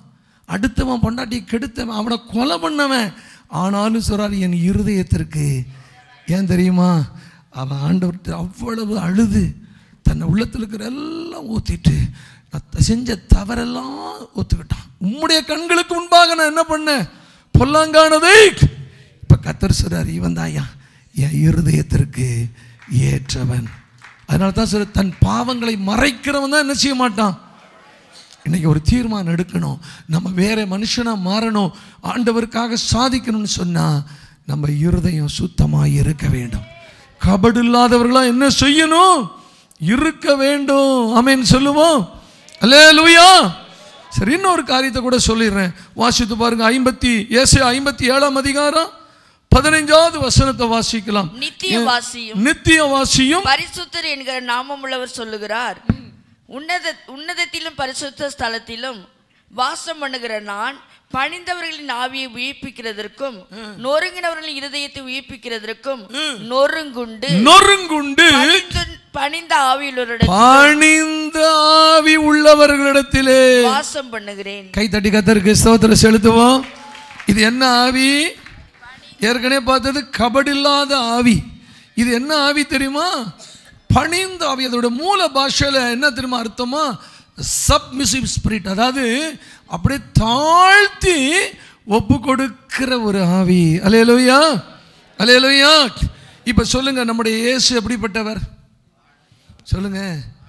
அவரை மாதிரிலாம் தாழ்மையா இருக்கவே சிலுவையின் மரண பரியந்தம் கீழ்ப்படிந்தவராகி தன்னை தாழ்த்தினார். தாழ் அடிமையின் ரூபெடுத்து வந்தார். இப்ப இயேசு ரொம்ப தாழ்மை உள்ளவர். அப்படிதானே அவர் இந்த பூமிக்கு வருவதற்கு யாரை தேடினாரு? மரியாள். மரியாள் என்ன சொன்னா என் ஆண்டவர் என்னுடைய சொத்தை கண்டுபிடிச்சிட்டாரு. என் குடும்ப பாரம்பரியத்தை பார்த்துட்டு என்கிட்ட வந்தாருன்னா சொன்னாரு. என் ஆண்டவர் அடிமையின் தாழ்மையை நோக்கி பார்த்தார். அப்ப தாழ்மை உள்ள தேவன் இந்த உலகத்திற்கு வருவதற்கு யாரை தெரிஞ்சுக்கிட்டாரு? இப்ப சொல்லுங்க அந்த தாழ்மையா இருந்தாரு ஆனால் பெரிய காரியங்களை இயேசு செஞ்சார். அல்லேலூயா அப்போ நம்ம ஆண்டவர் நம்ம இடத்துல என்ன தெரியுமா எதிர்பார்ப்பாரு? என்னத்தை எதிர்பார்ப்பாரு? தாழ்மையா பெருமை உள்ளவனுக்கு தேவன் எதிர்த்து நிற்கிறார். சவுல் ரொம்ப தாழ்த்தினான். போய் ஒளிஞ்சுக்கிட்டான். இந்த பாருங்க இவன் தான் உங்களுக்கு ராஜாவுன்னு சொன்னோன்னே ஐயோ ஏன் கோத்திரமா? அப்படி தாழ்த்தினான். ஒரு வருஷம் ஆன உடனே அவனுக்கு என்ன வந்துருச்சு? பயங்கர பெருமை வந்துருச்சு. பிரைஸ் லார்ட் ஹalleluya இப்போ நல்லா கவனிங்க நம்முடைய வாழ்க்கையிலே ஒரு பெரிய ஒரு தாழ்மையை கத்தர் எதிர்பார்க்கிறார். இப்போ நான் சொல்கிறேன் நம்ம மேன்மை பாராட்டுறதுக்கு எதுவுமே இல்லை. இன்னைக்கு இருக்கிற காசு நாளைக்கு இருக்குமான்னு தெரியாது. கடனால ஒரு சம்பவத்தை கேள்விப்பட்டேன். பாருங்கள் இலங்கையில் ஒரு பெரிய சம்பவம் நடந்துச்சு. நான் எண்பத்தி நான்காம் வருஷம் இலங்கைக்கு போயிருந்தேன். அங்கே ஒரு ஒரு மாதம் ஊழியம் என் கூட பாச ஜோசப் பாலச்சந்திரன் அவங்க ஐயா கூட நானும் போயிருந்தேன். அங்கே நிறையா ஊழியங்களை கற்றுக்கொண்டோம். அப்போ ஒரு ஊழியக்காரர் சொன்னார் ஐயா உண்மையிலேயே இந்த இடத்துக்கு ஒரு பெரிய ஆபத்து என்ன செய்ய போகுது? வரப்போகுது. என்ன நடக்க போதோ தெரியலன்னார். நாங்கள் வந்துட்டோம். ரெண்டு மாதத்தில் இலங்கையில் கலவு நடந்துச்சு. அப்போ அவர் சொன்னார் ஒரு ஊழியக்காரரு அகதி முகாம் இருந்துச்சு இல்லை? அந்த அகதி முகாமில் எல்லாம் க்யூவில் நிற்கிறாங்க எதுக்கு? சாப்பிட்டு நாலு நாள் ஆகிடுச்சு அங்கே இங்கேயும் முடியாது தங்கியிருக்காங்க அகதி முகாமில். அப்படியே என்ன பண்ணுறாங்க தட்டை வச்சுக்கிட்டு அந்த கஞ்சிக்கு அந்த சாப்பாட்டுக்கு நின்றுட்டு இருக்கிறாங்க. அந்த க்யூவில் நிற்கும்போது ஒரு பெரிய அந்த இலங்கை தேசத்தினுடைய ஒரு அதிகாரி ஒருத்தரை பார்த்துட்டாராம். பார்த்துக்கிட்ட வந்து நீங்கள் அவர் தானேன்னு கேட்டாராம். ஆமான்னு ஐயோ வாங்கன்னு அழைச்சிட்டு என்னன்னு கேட்டால் நம்ம சாரதாஸ் இருக்குல்ல திருச்சி சாரதாஸ். அவங்களுடைய சொந்தக்காரர் சம்மந்தி வேணுமா? அது வந்து பெரிய ரெடிமேடு கம்பெனி வச்சிருக்கிறாரு. ஆயிரக்கணக்கான பேர் அவர்கிட்ட வேலை செய்கிறாங்க கோடீஸ்வரனா. லண்டன் கிண்டன் யூரோப் கண்ட்ரிஸ்லாம் அவருக்கு பிரான்ச் இருக்குதான். ஆனால் கலவரத்தில் எல்லாத்தையும் அடித்து நொறுக்கி தீ வச்சுட்டானுங்க. ப உயிருக்கு பயந்து அவர் வந்து எங்கே உட்காந்துருக்கிறாரு பாருங்கள் நேற்றைக்கு கோடீஸ்வரன் இன்னைக்கு அலுமினிய தட்டில் சோறு வாங்கி திங்கிற அகதியில் நிற்கிறாரு இன்றைக்கி வேணால் காசு இருக்கலாம் பணம் இருக்கலாம். திடீர்னு ஒரு பூமி எதிர்த்து வந்துச்சுன்னா ஒன்றும் இருக்காது. ஐசிஐசி பேங்க் ஏடிஎம் கார்டு எதுவும் இருக்காது. ஏடிஎம்மும் இருக்காது ஒன்றும் எதையும் நம்புறதுக்கு இந்த உலகத்தில் ஒன்றுமே நல்ல ஹெல்த்து இருக்கும். திடீர்னு ஹெல்த் என்ன ஆகிடும் போயிடும். ஒரு சமயம் பாருங்கள் இந்தியாவில் ஒரு மல்யுத்த வீரன் அவன் பேர் காமா பைல்வான். காமா. அவன் வந்து காஷ்மீர்காரன் அவன். அவன் வந்து திடீர்னு அவனுக்கு வாதம் அடிச்சிருச்சு கையங்கால் விழுந்துருச்சு அவனுடைய நண்பர்கள் பார்க்க போனாங்க. அவன் கையங்கால் விழுந்திருக்குது அப்போ அவன் சொன்னானா இந்த கையினால் எத்தனை வீரர்களை தூக்கி தூக்கி எரிஞ்சிருக்கிறேன் இன்றைக்கி என் மேலே உட்காந்துருக்கிற ஈய என்னால் என்ன செய்ய முடியல? விரட்ட முடியல நான் பயில்வான்களை தூக்கி எறிந்த கை இன்னைக்கு ஒரு ஈய என்ன செய்ய முடியல? விரட்ட முடியல.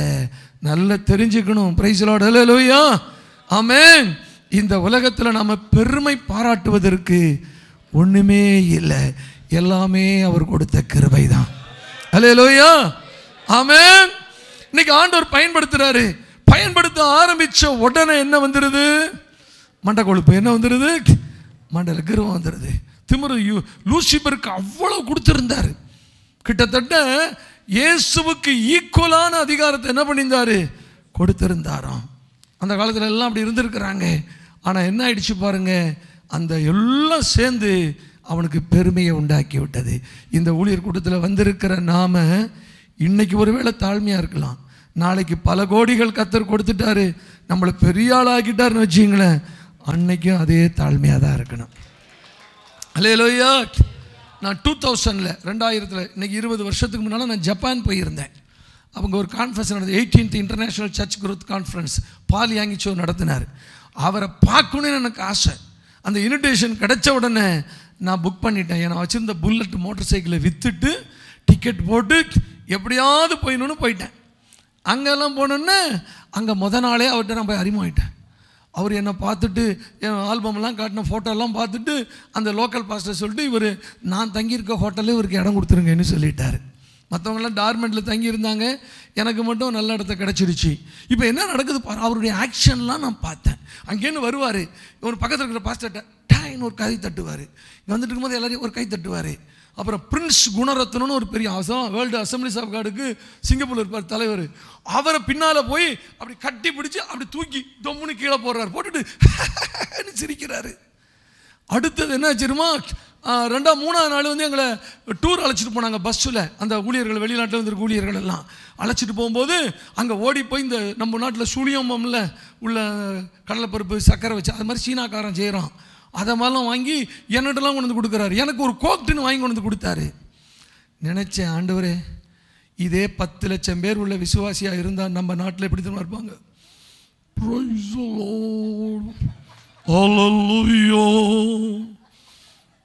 ஐயா உங்களை பார்க்க வந்திருக்கிறோம்.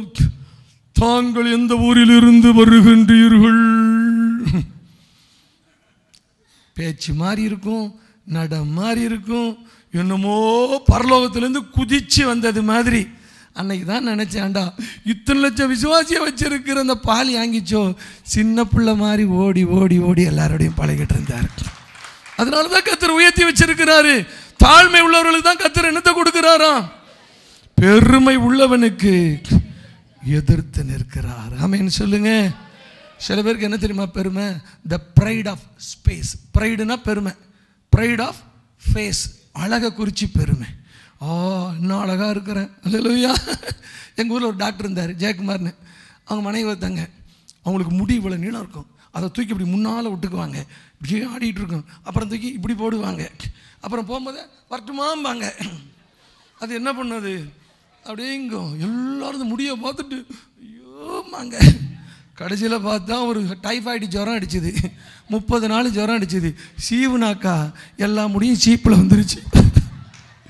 அவ்வளோதான் சில பேருக்கு பார்த்தீங்கன்னாக்கா என்னங்கிறீங்க? திடீர்னு பார்த்தே அவன் ஆகிடும் பல்லு கொட்டிடும். என்ன ஆகிடும் இப்படி? உள்ள எல்லாம் அப்படி இருந்தவங்க என்ன ஆகிடுவாங்க அப்படியே உள்ளே போயிடுவாங்க. பசங்க ரெண்டு பேர் பேசிக்கிட்டானுங்களாம். டே எங்கள் பா எங்கள் தங்கச்சி சிரிச்சா குழி உழுதுன்னா. இவன் சொல்கிறான் எங்கள் பாட்டி சிரிக்காமலே குழி உழுதுறான் என்ன ஆயிடுச்சுனாக்கா அவ்வளோதான் கொஞ்ச நாள் அழகெல்லாம் என்ன ஆகிடும் ப்ரைட் ஆஃப் ஃபேஸ் அழகை குறித்து பெருமை. இவருக்கு த ப்ரைட் ஆஃப் ஸ்பேஸ் எனக்கு நிறைய இருக்குது எனக்கு வீடு இருக்குது எனக்கு வாசல் இருக்குது கொல்லைப்பக்கம் இருக்குது. சில பேர் அடிக்கிட்டே போ எனக்கு மாடு இருக்குது கண்ணு இருக்குது கோழி இருக்குது வீட்டில் ரெண்டு முட்டை இருக்குது. சொல்லிகிட்டே போவோம் அதாவது தன்னுடைய இருக்கிறத குறித்த ஒரு பெருமை. இன்னைக்கு சொல்கிறேன் யார் பணிந்த ஆவி உள்ளவர் இருக்கிறாங்களோ அவங்களிடத்துல தான் வந்து வாசம் பண்ணுவாராம். வாசம் பண்ணால் என்ன நடக்கும்? பெரிய பெரிய அற்புதங்கள் நடக்கும். Hallelujah amen. இப்போ என்கிட்ட ஆண்டு வாசம் பண்ணுறாரு நடந்து போனாக்கா பேயெல்லாம் என்ன செய்யும்? தன்னாலேயே ஓடும். இப்போ அவர் வாசமாக இருக்கணும்னா நம்ம எப்படி இருக்கணும்? பணிந்த ஆவி உள்ளவர்களாக இருக்கணும்.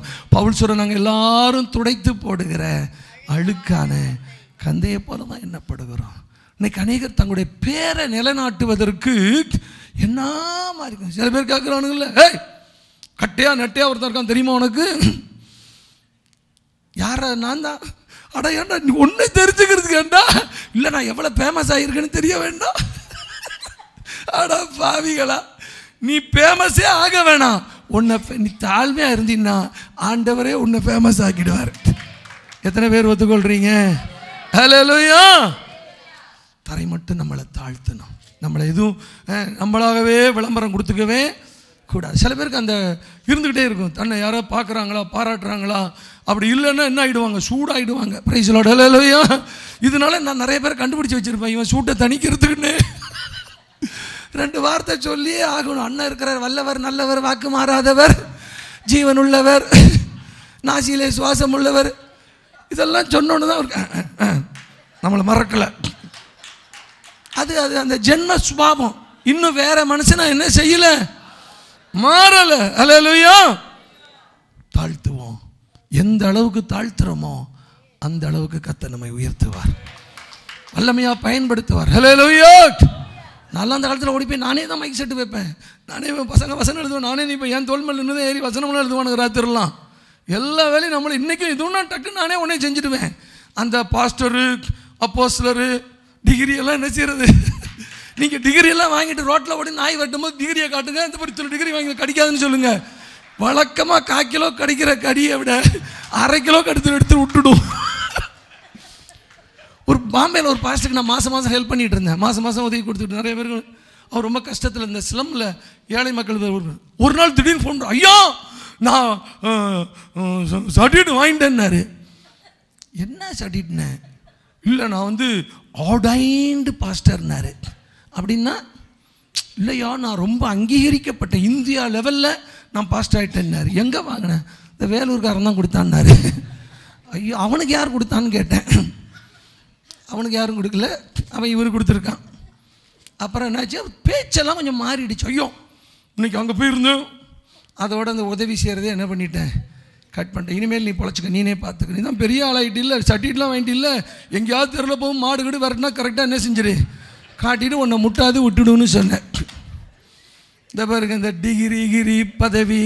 உண்மையிலே நம்ம எப்படி தான் இருக்கிறோம். தாழ்மையாக இருக்கிறோம். கத்தனமை ஆசீர்வதிக்கிறார். ஹலோ லோயா இப்போ இன்னொரு வசந்த வாசிங்க. கிட்ட நம்ம முடிச்சிடும். தானியல் ஆறாம் அதிகாரம் மூணாம் வசனத்தை வாசிங்க. இப்படி இருக்கையில்- தானியல் பிரதானிகளுக்கும் தானியல் பிரதானிகளுக்கும் தேசாதிபதிகளுக்கும் மேற்பட்டவனாய் இருந்தான். தானியலுக்குள் விசேஷித்த ஆவி இருந்தமையால் அவனை ராஜ்ய முழுமைக்கும் அதிகாரியாக ஏற்படுத்த ராஜா நினைத்தான். ஒரு அலையிலியா சொல்லுங்க. தானியலுக்குள் என்ன இருந்துச்சுது? விசேஷித்த ஆவி.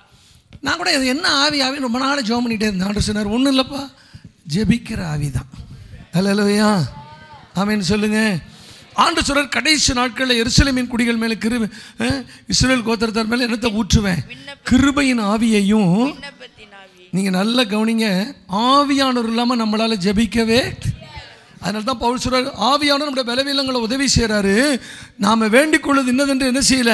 அறியாதபடினால வாக்கு கடங்காத பெருமூச்சுகளோடு வேண்டுதல் செய் அப்ப ஆவி யூதா சொல்ற நீங்களோ பிரியமானவர்களே பரிசுத்தாவிக்குள் ஜெபம் பண்ணி. ஜெபம் பண்ணி. இப்ப சொல்லுங்க ஆவியானவர் இல்லாம ஜெபம் பண்ண எப்படி தெரியுமா ஜெபம் இருக்கும்? சோத்திரம் சோத்திரம் சோத்திரம். ஜெபம் பண்ண முடியாது. ஜெபம் பண்ணணும்னாலே ஒரு ஆவி நம்ம மேல ஊற்றப்பட வேண்டும். அல்லேலூயா சரி இப்போ கவனிங்க தானியலுக்குள்ளே என்ன இருந்துச்சுது? அதான் இந்த ஜெபிக்கிற ஆவி. இப்போ தானியல் அங்கே எப்படி போனார்? உங்களுக்கு நல்ல நமக்கு தான் தெரிஞ்ச விஷயமாச்சே ஊழியர்களுக்கு. அடிமையாக போனார். எப்படிங்க? அடிமையாக போனார். போன மனுஷன் ஜெபத்தை மட்டும் விடவே இல்லை. ஆமேன்னு சொல்லுங்க. எதை விடலை? ஜெபம் பண்ணே இருந்தார். அதனால தான் ஆண்டு பார்த்தாரு அங்கே அரண்மனை கொண்டு போனார். இப்போ அரண்மனை கொண்டு போன பிறகு ஜெபத்தை விட்டுருக்கலாம்ல. இப்போ தான் நல்ல பெரிய ஆளாயிட்டமே இனிமே ஜெபம் வேணுமா? அரண்மனைக்கு போனாலும் அவ்வளோ வேலை தேசத்தை விசாரிக்கிறது. இப்போ நமக்கு சபையில் கொஞ்சம் வேலை கொடுத்தோடனே நம்மளுக்கு தூங்குறதுக்கு என்ன இல்லை? ராத்திரி ரெண்டு மணிக்கு ஃபோன் வருது. பாஸ்டர் நல்லா இருக்கிறீங்களா? இதை மாதிரி டெய்லி ஃபோன் பண்ணு நல்லா இருப்பேன். ராத்திரி ரெண்டு மணிக்கு டெய்லி ஃபோன் பண்ணால் நல்லா இருப்போம் நாங்கள் எத்தனை ஃபோனுங்கிறீங்க அதுலேயும் பாருங்கள் என்கிட்ட தான் பேசணும்பாங்க சில பொம்பளைங்க அவங்க கதையை சொல்ல ஆரம்பித்தாங்க பாஸ்டர் எனக்கு கல்யாணம் ஆணுச்சு இல்லை சரி இப்போ என்ன ஆச்சு சொல்லு? அந்த கல்யாணம் ஆன பிறகு ஒரு குழந்தை பிறந்துச்சு இல்லை ஐயோ இன்னும் ரெண்டு வருஷம் ஆகுமே. சொல்லி முடிக்கிறதுக்கு அவ்வளோ வேலை நமக்கே இருக்கு. அப்போ தேசத்தை விசாரிக்கிறவனுக்கு எவ்வளோ வேலை இருந்திருக்கும்? இங்கே இந்த செக்கில் கையெழுத்து போகணும் அதை பண்ணும் இங்கே பணம் கொடுக்கணும். ஹோல் தேசத்தை விசாரிக்கிறதுனுடைய ஹை ஃபைனான்ஸ் மினிஸ்டர் எந்த மினிஸ்டர் அவங்க? பெரிய ஒரு ஃபைனான்ஸ் மினிஸ்டர் இப்போ பாருங்க அவ்வளோ வேலை இருந்தும் மூணு வேளையும் தவறாமல் ஜெபம் பண்ணினார் இப்போ கவனிங்க அந்த பாபிலோன் தேசம் முழுவதையும் பிசாசு தான் கையில் வச்சிருந்தான். ராஜாவை மந்திரிகளை மக்கள் எல்லாரையும் திருவிழா கொண்டாட வச்சு பெரிய பெரிய சிலைகளை எவ்வளோ பெரிய சிலை? பளிச்சுன்னு சொல்லுங்க. அறுபது முழம்னா எத்தனை அடி? தொண்ணூறு அடி. தொண்ணூறு அடி கிட்டத்தட்ட நூறு அடி சிலை. அவ்வளோ அகலம். முழுக்க முழுக்க பிளாஸ்டா பாரிஸில் செஞ்சுருந்தாங்க. மரத்தில் செஞ்சாங்களா? கல்லுலையா? சுத்த தங்கம். பவுனில் செஞ்சு வச்சுக்கிட்டு எல்லாம் அதுக்கு அவ்வளவு மியூசிக் பார்ட்டி எல்லாம் வாசிக்கிறவங்க. தேசமே அது காலில் விழுது. இப்போ என்ன தெரியுமா நடக்குது? தானியல் பார்த்தாரு. டேய் இன்னும் கொஞ்ச நாளில் நடக்குது. நீயா நானா? நீயா நானா? என்ன நீயா நானா ஒன்று நீ இருக்கணும் அல்லது நான் இருக்கணும். ஆமீன் சொல்லுங்க. யார்கிட்ட ச- சவால் விட்டார்? அந்த அந்த பாபிலோன் தேசத்தில் இருக்கக்கூடிய அந்த பொல்லாத ஆவிக்கு. ஆமீன் சொல்லுங்க. ஒவ்வொரு ஏரியாவுக்கும் பிசாசு என்ன போட்டிருக்கிறான்? அதிபதியில் போட்டிருக்கான் அதனால தான் தானியல்கிட்ட சொல்கிறாங்க தானியலே நீ ஜோ பண்ணணும்னு நாங்கள் வந்துட்டோம். ஆனால் பெருசியா ராஜ்யத்தின் அதிபதி என்ன பண்ணிட்டான்? எங்களை தடுத்து நிறுத்திக்கிட்டு இருந்தான்னு சொல்லி. பாருங்கள் அந்த தானியல் சேலஞ்சு பண்ணார். இன்னும் கொஞ்ச நாள் இந்த தேசத்தை நான் என்ன பண்ணுறேன் பாருன்னு சொல்லி. இப்போ யாருக்கு பயம் வந்துருச்சு? பிசாசுக்கு என்ன வந்துருச்சு? ஐயோயோ இவன் நிச்சயமாக மாத்திருவான் போல இருக்குது. அப்படின்னா இவன் ஜெபம் பண்ணுறத என்ன பண்ணணும்? நிறுத்தணும். இவன் ஜெபம் பண்ணுறத என்ன பண்ணணும்? நிறுத்தணும். என்ன பண்ணுறது அவருக்கு ஏதாவது வயிற்று போக்க கொடுத்து பார்த்தான். அவர் அங்கே லெட்டியில் உட்காந்து ஜெபம் பண்ணிட்டு இருக்கிறாரு. சரி படுக்க வச்சு பார்த்தான். படுத்துக்கிட்டு ஜெபம் பண்றாரு. ஐயோயோ இவன் ஜெபத்தை எதுலையுமே நிறுத்தவே எங்கள் விசுவாசி சாட்சி சொல்லுவாங்க ஏதாவது உடம்பு சொல்லுவாங்க ஆஸ்பத்திரி போடுவாங்க ஆஸ்பத்திரிக்கு போயிட்டு அங்கே இருக்கிற ஒரு பத்து பேரை சபைக்கு அழைச்சிட்டு வந்துடுவாங்க இது எங்கே போனாலும் நம்மளால ஜெயிலில் தூக்கி போட்டாலும் அங்கே இருக்கிறவனுக்கு ஞானசானம் கொடுத்துருவாங்க பவுலும் சீலாவு மாதிரி. அல்லேலூயா இவனை நிறுத்த முடியே அப்போ என்ன பண்ணலாம்? இவன் ஜெபத்தை தடை பண்ணுற மாதிரி ஒரு சட்டத்தை கொண்டு வருவோம் உடனே ஏற்பாடு பண்ணி உங்களுக்கு தெரியுமே யாரும் இந்த நாட்டில் ஒரு மாதம் என்ன செய்யக்கூடாது? ஜெபமே பண்ணுனா எங்கே தூக்கி போட்டுருவோம்? இப்ப தானியேல் அந்த பத்திரத்திற்கு கையெழுத்து வைக்கப்பட்டது என்று அறிந்த போதிலும். தன் வீட்டுக்குள்ளே போய் தன் மேல் அறையிலே. எருசலேமுக்கு நேராக எல்லா கதவையும். சாத்திக்கிட்டு ஜெபம் இல்ல கதவை திறந்து வச்சுக்கிட்டு அங்கே தான் முன் செய்து வந்தபடியே. தினம் மூன்று வேளையும். தன் தேவனுக்கு முன்பாக முழங்கால் படியிட்டு ஜெபம் பண்ணி ஸ்தோத்திரம் செலுத்தினான் ஒரு சொல்லுங்க இப்ப சொல்லுங்க இந்த ஜெபம் பண்ண பண்ண என்ன பண்ணான்? உன்னை பிடிச்சி எங்க போட்டானுங்க? உன்னை சிங்க கபியில இதானே செய்ய முடியும் உன்னால? டேய், நீ என்னதான் இந்த தேசத்துல பண்ணாலும் ஜெபிக்கிற நாங்க தான் ஜெயிப்போம். அலே லோய்யா அலே லோய்யா ஆனா இப்ப ஜெபம் கூட வியாபாரம் ஆயிடுச்சு. ஜெபம் என்ன ஆயிடுச்சு? நான் தான் ஜெபம் பண்றேங்கிற மாதிரி அந்த விளம்பரம் அதிகமாயிட்டு இருக்குது. பிரைஸ் லார்ட் அலே லோய்யா சரி அதனால தான் வேதம் சொல்லுது அந்தரங்கத்துல பார்க்கிற பிதா வெளியரங்கமாய் பதில் கொடுப்பார். அலையலுயா இப்போ பாருங்க தூக்கி போட்டாலும் இப்போ என்ன நடந்துச்சு இது? அந்த தேசம் முழுவதும் ஒரு பெரிய மாற்றம் வந்துருச்சு. அந்த அவ்வளோ பெரிய பாபிலோன் தேசத்தோட ராஜா யார் காலில் விழுவுறான்? தானியல் காலில். நான் நினைக்கிறேன் இன்னும் கொஞ்ச நாள் வரப்போகுது. இந்த மந்திரிகள் எல்லா பெரிய பெரிய அதிகாரிகள் எல்லாம் யார் காலில் விழுவான்? நம்ம காலில். இப்போ எல்லா அறிவிப்பு ராஜா சொல்கிறாரு இவங்களோட தெய்வம் சாதராக் மேஷா காபேத்தினோட தெய்வம் தானியோட தெய்வம் தான் தெய்வம் வேற எதையாவது கும்பிட்டீங்க உங்க வீடை எருக்களமாக்கப்படும் சொல்லிட்டாராம். இப்போ சொல்லுங்க ஜெபம் எவ்வளவு வல்லமை உள்ளது. எங்களோட சபையில் கொஞ்சம் பேர் தான் இருந்தாங்க. இந்த சாட்சி நீங்கள் பார்த்துக்கலாம். இடைவிடாத ஜெபம்னு ஒரு புக்கு இருக்குது அது இப்போ தீந்து போச்சு அது மறுபடியும் இப்போ அதை எல்லோரும் கொடுக்கணும்னு இருக்கும். நிறைய பாஸ்டர்கள் இப்போ ஜெபிக்கிறாங்க. பாஸ்டர் வந்தோடனே என்கிட்ட சொன்னாங்க அந்த கடந்த டிசம்பர் பத்தாம் தேதி ஆயிரம் இடத்துல ஒரே நாளில் ஒரே நேரத்தில் ஒரே வித ஜபகுறிப்புல ஜெபிக்கணும்னு சொல்லி ஐம்பது ஜபகுறிப்பு எல்லாருக்கும் அனுப்பிச்சிருந்தோம் வாட்ஸ்அப்பில் ஃபேஸ்புக்கில் எல்லாத்துலேயும். கடைசியில் பாருங்கள் பாஸ்டரும் அன்றைக்கி சேர்ந்து ஜெபம் பண்ணியிருந்திருக்கிறாங்க. கிட்டத்தட்ட எங்களுக்கு வந்த ரிப்போர்ட்டின்படி ரெண்டாயிரம் பேர் அன்றைக்கி ஒரே நேரத்தில் ஜெபம் பண்ணிட்டு இருந்திருக்கிறாங்க. அதாவது ஒரு மூட்டை கொட்டி விட்டுட்டு ஒரு பஞ்சு பண்ணால் எப்படி இருக்கும்? அதுவே ஒரு மாதிரி இருக்கும். ஆயிரம் பேர் சேர்ந்து பஞ்சு பண்ணாக்கா தெரிச்சிடும். ஒரு லாரி சேத்துல மாட்டிக்கிடுச்சு. பத்து பேர் சேர்ந்து தள்ளுறாங்க முடியல. பத்து பத்து பேராக தள்ளிட்டு இருந்தால் அங்கே தான் கிடக்கும். ஆனால் எல்லாரும் ஒன்று சேர்ந்து நூறு பேராக சேர்ந்து கையை வச்சா ஒரே இதில் தள்ளி விட்டுறலாம். அது மாதிரி எல்லாரும் சேர்ந்து சாலமோனுடைய மண்டபத்தில் ஒன்றா கூடி ஜோம் பண்ணாங்க. சவுல் ரசிக்கப்பட்டார். ஏரோது புழு புழுத்தி செத்தான். எங்கள் ஊர்லலாம் இப்போ சொல்கிறானுங்க விசாரிச்சு ஐயோ ஜோ முறைய மோதாங்க ஜோம் பண்ணியே கொண்டுடுவானுங்க நம்ம ஜெபம் எவ்வளவு வல்லமை உள்ளதுன்னு நமக்கு தெரியல. ஆனா அவனுக்கு தெரிஞ்சிருக்குது. அல்ல லூயா ஆமேன் யார் ரெண்டு பேர்னு கேட்காதீங்க அப்புறமா சொல்கிறேன் பிரைஸலோட லூயா என்ன கத்தியால் குத்துனவன் அடித்தவன் நொறுக்கினவன் மேலே கேஸ் போட்டவன் எல்லா பயிலும் செத்துட்டான். ஏன்னா எங்கள் விசுவாசிகள் ஜோம் பண்ணியே கொண்டுட்டாங்க சில பேர் ரசிக்கப்படுவான் சில பேர் ரசிக்கப்படவே அவன் இருக்க வேண்டிய அவசியமே. சரி இப்போ நல்ல கவனிங்க இதுதான் விசேஷித்த ஆவி. என்ன ஆவி? ஏசு அதிகாலை இருட்டோடே எழுந்து ஜோமனா ராத்திரில் மலையில் போய் ஜெபித்தார். இப்போ நாளைக்கு நாளை மறுநாளும் செங்கல்பட்டில் பெரிய அகில இந்திய முழுவர் ஜெபீரர் முகாம் நடக்குது. நான் எல்லா முகாம் நாங்கள்லாம் ஓடிடுவோம் அதுக்கு. பல சபையிலேருந்து வருவாங்க. யாரும் அந்த பேரும் கிடையாது. ஜெபம் மட்டும்தான். பிரைஸ் லோயா தொண்ணூறாவது வருஷத்தில் எங்கள் ஊரில் வந்து அவங்க ஜெபம் நடத்துனாங்க முகாம். நாங்கள் கலந்துக்கிட்டோம் என் மனைவி அதை நல்லா கவனிச்சிட்டா. அப்போல்லாம் புதுசாக எப்படி ஜெபம் பண்ண தெரியுமா? இப்போ நிறைய பேருக்கு ஜெபம் பண்ணவே தெரியலையே. மைக்கை கொடுத்தோன்னு வச்சுங்களேன் லாடு லாடு சோத்திரம் லாடு லாடு காடு லாடு லாடு லாடு லாடு நான் கூட சொல்ல பார்க்க ஒரு லாடு வாங்கி கொடு அவருக்கு. அது தின்னுட்டா சும்மா இருக்கட்டும்னு. வாயில் வரமே இல்லை. என்னது அப்படியே வர வரல. அறையில் ஜெபம் பண்ணார்ல அந்தரங்கத்தில். ஜெபம் பண்ணார்ல வெளியரங்கமாக வரும் ஆ சோத்திரம். டா டா டாமில் டாமில் டாமில் டாமில் வரவே இல்லையே. அப்படியே அப்படியே ஜெபம் கொடுத்த மைக்கை கொடுத்தோம்னா நான் திடீர்னு சொல்லி ஆண்டவர் அரசியல்வாதிகளுக்காக ஜெபிப்பாங்க வந்து ஐயா பாஸ்டர் ஆசிரதிங்க அவர் மனைவி ஆசிரதிங்க மூத்த மகனை ஆசிர்வதிங்க ரெண்டாவது மகளை ஆசிரியதிங்க அமெரிக்காவில் இருக்க மகளை ஆசிர்வதிங்க சென்னையில் இருக்க மகளை ஆசிரியதிங்க யோ நான் சொன்னது அரசியல்வாதிகளுக்கு ஜெபம் பண்ண சொன்னேன். தேங்காய் வியாபாரிக்கு ஜெபம் பண்ண சொன்னால் மாங்காய் வியாபாரிக்கு ஜெபம் பண்ணுறான் மாங்காய் வியாபாரிக்கு ஜெபம் பண்ணால் நிறைய ஊழியக்காரெலாம் பார்த்தீங்கன்னா அந்த முழு ஜபத்தில் தூங்கிட்டே இருப்பாங்க. அப்படியே இந்த செத்து போன அந்த கச்சிப்பை கட்டி வச்சிருப்பாங்களே அப்படி. அதை மாதிரி இருக்கட்டும் கிட்டும்னு ஆடிட்டு இருக்கும் திடீர்னு வந்தோடனே ஐயா ஜோமன் சொன்ன எதுக்குன்னு சரியாதான் ஆண்டவர்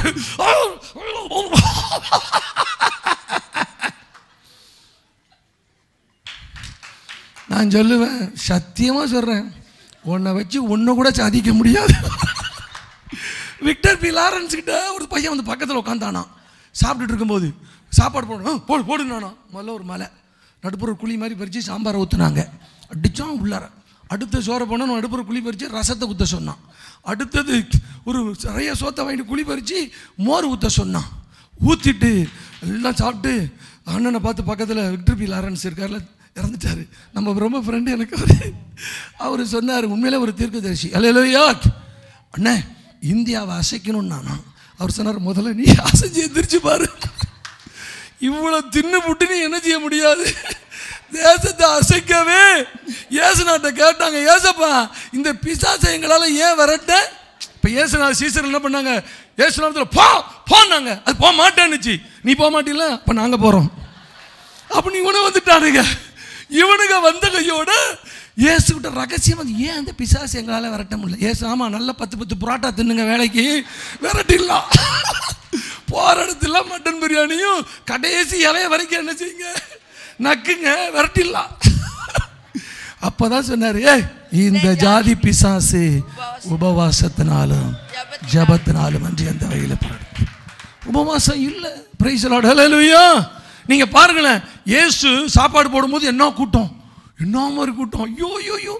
ஆனா ஜெபம் பண்ண போகும்போது கொஞ்சம் பேர் தான். அவனுங்க என்ன பண்ணிட்டானுங்க? படுத்து தூங்கிட்டானுங்க. இன்னைக்கும் சொல்றாங்க அதனால தான் ஆண்டு சொல்றாரு நான் தேசத்தை அழிக்காதபடி திறப்பில் நிற்க ஒரு பத்தாயிரம் பேரை தேடுகிறேன். அப்படியா சொன்னாரு? ஒருத்தன் போதும் ஒருத்தன் போதும். அவன் ஜபத்தை வச்சு தேசத்தை என்ன பண்ணிடுவேன்? அசைத்து விடுவேன். சில பேர் பாருங்க பொதுவில் ஜெபம் பண்ணுவாங்க. சில பேர்ட்ட மைக்கை கொடுத்தோன்னு வச்சுங்களேன் ஆண்டவரே நீர் வானத்தில் இருக்கிறீர். நான் என்ன பண்ண ஆண்டவர் இருந்து மைக்கை வாங்கி எனக்கு கொடுங்க ஆண்டவரே. ஆண்டவர் இந்த மைக்கை வாங்கி எனக்கு என்ன செய்யுங்க? இப்போதைக்கு முடிக்க மாட்டான் போல இருக்கு ஆண்டவர். அப்படியே சில பேர் பார்வைக்கு நீண்ட ஜபம். ஏன் சொன்னார்ல? பார்வைக்கு அதாவது தான் ஜெபம் பண்ணுறோன்னு மற்றவங்களுக்கு தெரியணுமா? ஒரு நாள் ஒரு வீட்டுக்கு போயிருந்திருக்காரு ஒரு பாஸ்டர் அப்பதான் அவங்க எல்லாம் ட்ரெயின் கிளம்பிட்டு இருக்காங்க. ஐயா நாங்கள் ஊருக்கு போகிறோம் ஒரு சின்ன ஜெபம் பண்ணுங்கன்னு இருக்காங்க. ஆண்டவர் அந்தமானை சந்திப்பீராக. ஆண்டவர் சிங்கப்பூரை சந்திப்பீராக. நியூசிலாந்தை சந்திப்பீராக. பிடிச்சி பார்க்குறேன் அந்த விட்டு வேலைக்காரி மட்டும் நிற்கிது வா எங்கம்மா எல்லாரும்? நீங்க சிங்கப்பூர்லேருந்து நியூசிலாண்டு போனீங்கல்ல அப்போ போயிட்டாங்க எல்லாரும். அதாவது தன்னை ஜப வீரன்னு காட்டிக்கணுமா? வேதம் சொல்லுகிறது அதெல்லாம் நடக்காதியா? பரிசேர ஜபம்லாம் கேட்கப்படாது. நீதிமான் செய்யும் ஊக்கமான வேண்டுதல் மிகுந்த பலனுள்ளதாக இருக்கிறது. அந்தரங்கத்தில் ஜெபிக்கணும் தனிமையில் ஜெபிக்கணும். காலை தனியில் நின்று முழங்கால் படி இடணும். சில பேருக்கு இப்படியே சுற்றிக்கிட்டே இருப்பாங்க. தமிழ் நம்ம ஊரில் ஒரு பழமொழி சொல்ல நாய்க்கு வேலையே இல்லையா? ஆனால் உட்கார்றதுக்கு என்ன இல்லையா? நேரமே இல்லையா? பிஷி பிஷி பிஷி பிஷி பிஸியாக இருக்கிறவங்க சாதிக்க முடியாது. ஆனால் முழங்கால் படியிடுறவர்களால் நிச்சயமாய் சா- ஒரு தானியல் ராஜாவை காலில் விழ வச்சுட்டாயா? இன்னைக்கு நமக்குள்ள அந்த ஜப ஆவி வர வேண்டும்.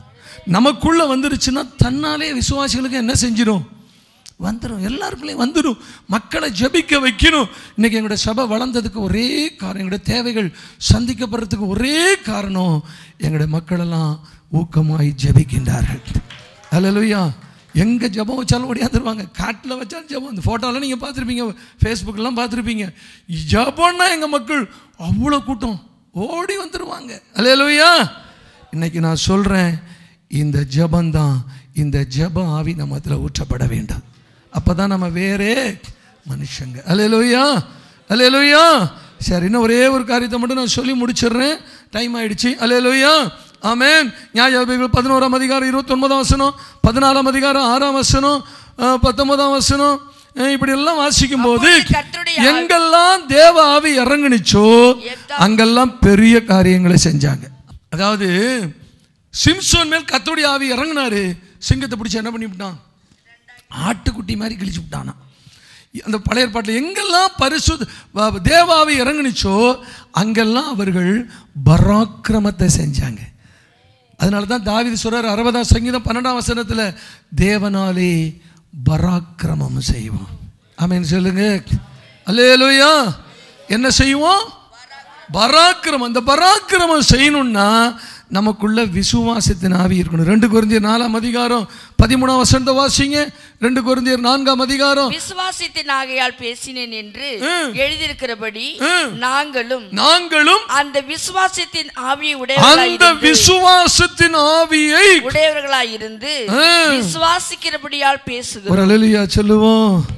இப்ப பாருங்க இந்த விசுவாசத்தின் ஆவி இருக்கே அது பராக்கிரமம் செய்ய வைக்கிறது.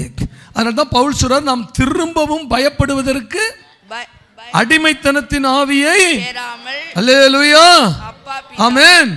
பாருங்க அத்தனை பட்டண விக்கிரங்களால் நின்றுக்கிறத பார்த்தோன்னா பவுல் ஆவியில் என்ன பண்ணாராம்? கொண்டு. இப்ப சொல்லுங்க நமக்குள்ள இருக்கிற அந்த ஆவி எப்படி தெரியுமா இருக்கணும்? விசுவாசத்தின் ஆவியும் பராக்கிரமத்தை செய்கிற ஆவி. இப்போ எங்க மக்களுக்கு நான் சொல்ற காரியம் என்ன தெரியுமா? இனிமேல் நமக்கு அறிவிக்கிற ஊழியம் இல்ல நிரூபிக்கிற ஊழியம். அறிவிக்கிறதுக்கு வைகோ இருக்கிறாரு. அவரை விட நம்ம ஒன்றும் வசனம் நிறைய சொல்ல மாட்டோம். பிரைஸலோட இல்லையா ஆமேன் என்ன மாதிரி வசனம் பேசுகிறாரு பாருங்க.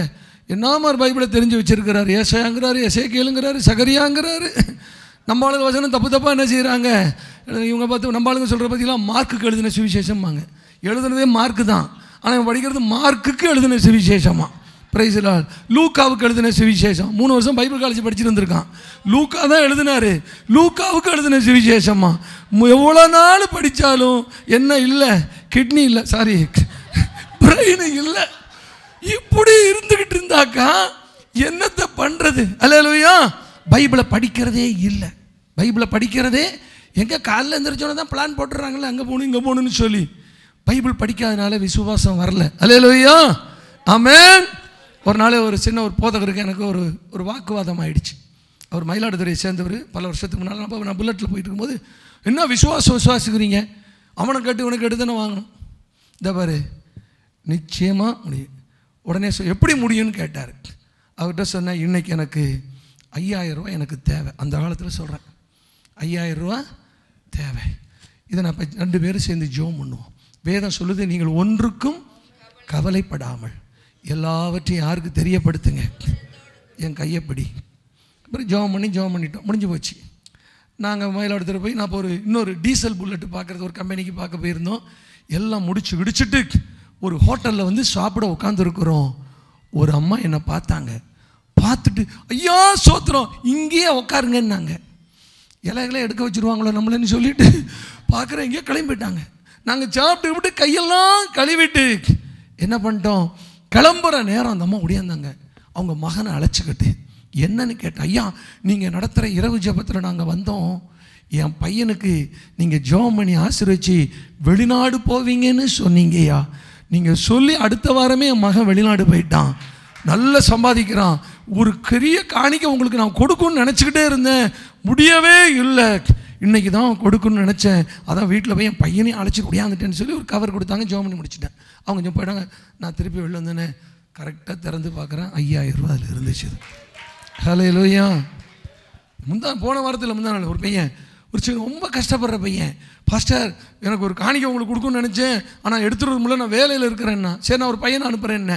நான் என்ன எதிர்பார்க்கிறேனோ அதை கரெக்டாக அன்று செய்கிறாரு இன்றைக்கி நான் சொல்கிறேன் நம்ம பயப்பட வேண்டிய அவசியமே விசுவாசித்தின் ஆவிய உடையவர்கள் எங்கள் அப்பா அம்மாவும் உண்மையிலே எங்களுக்கு எதை கற்றுக் கொடுத்துட்டு போனாங்களோ இல்லையோ விசுவாசத்தை கற்றுக் கொடுத்துட்டு போனாங்க.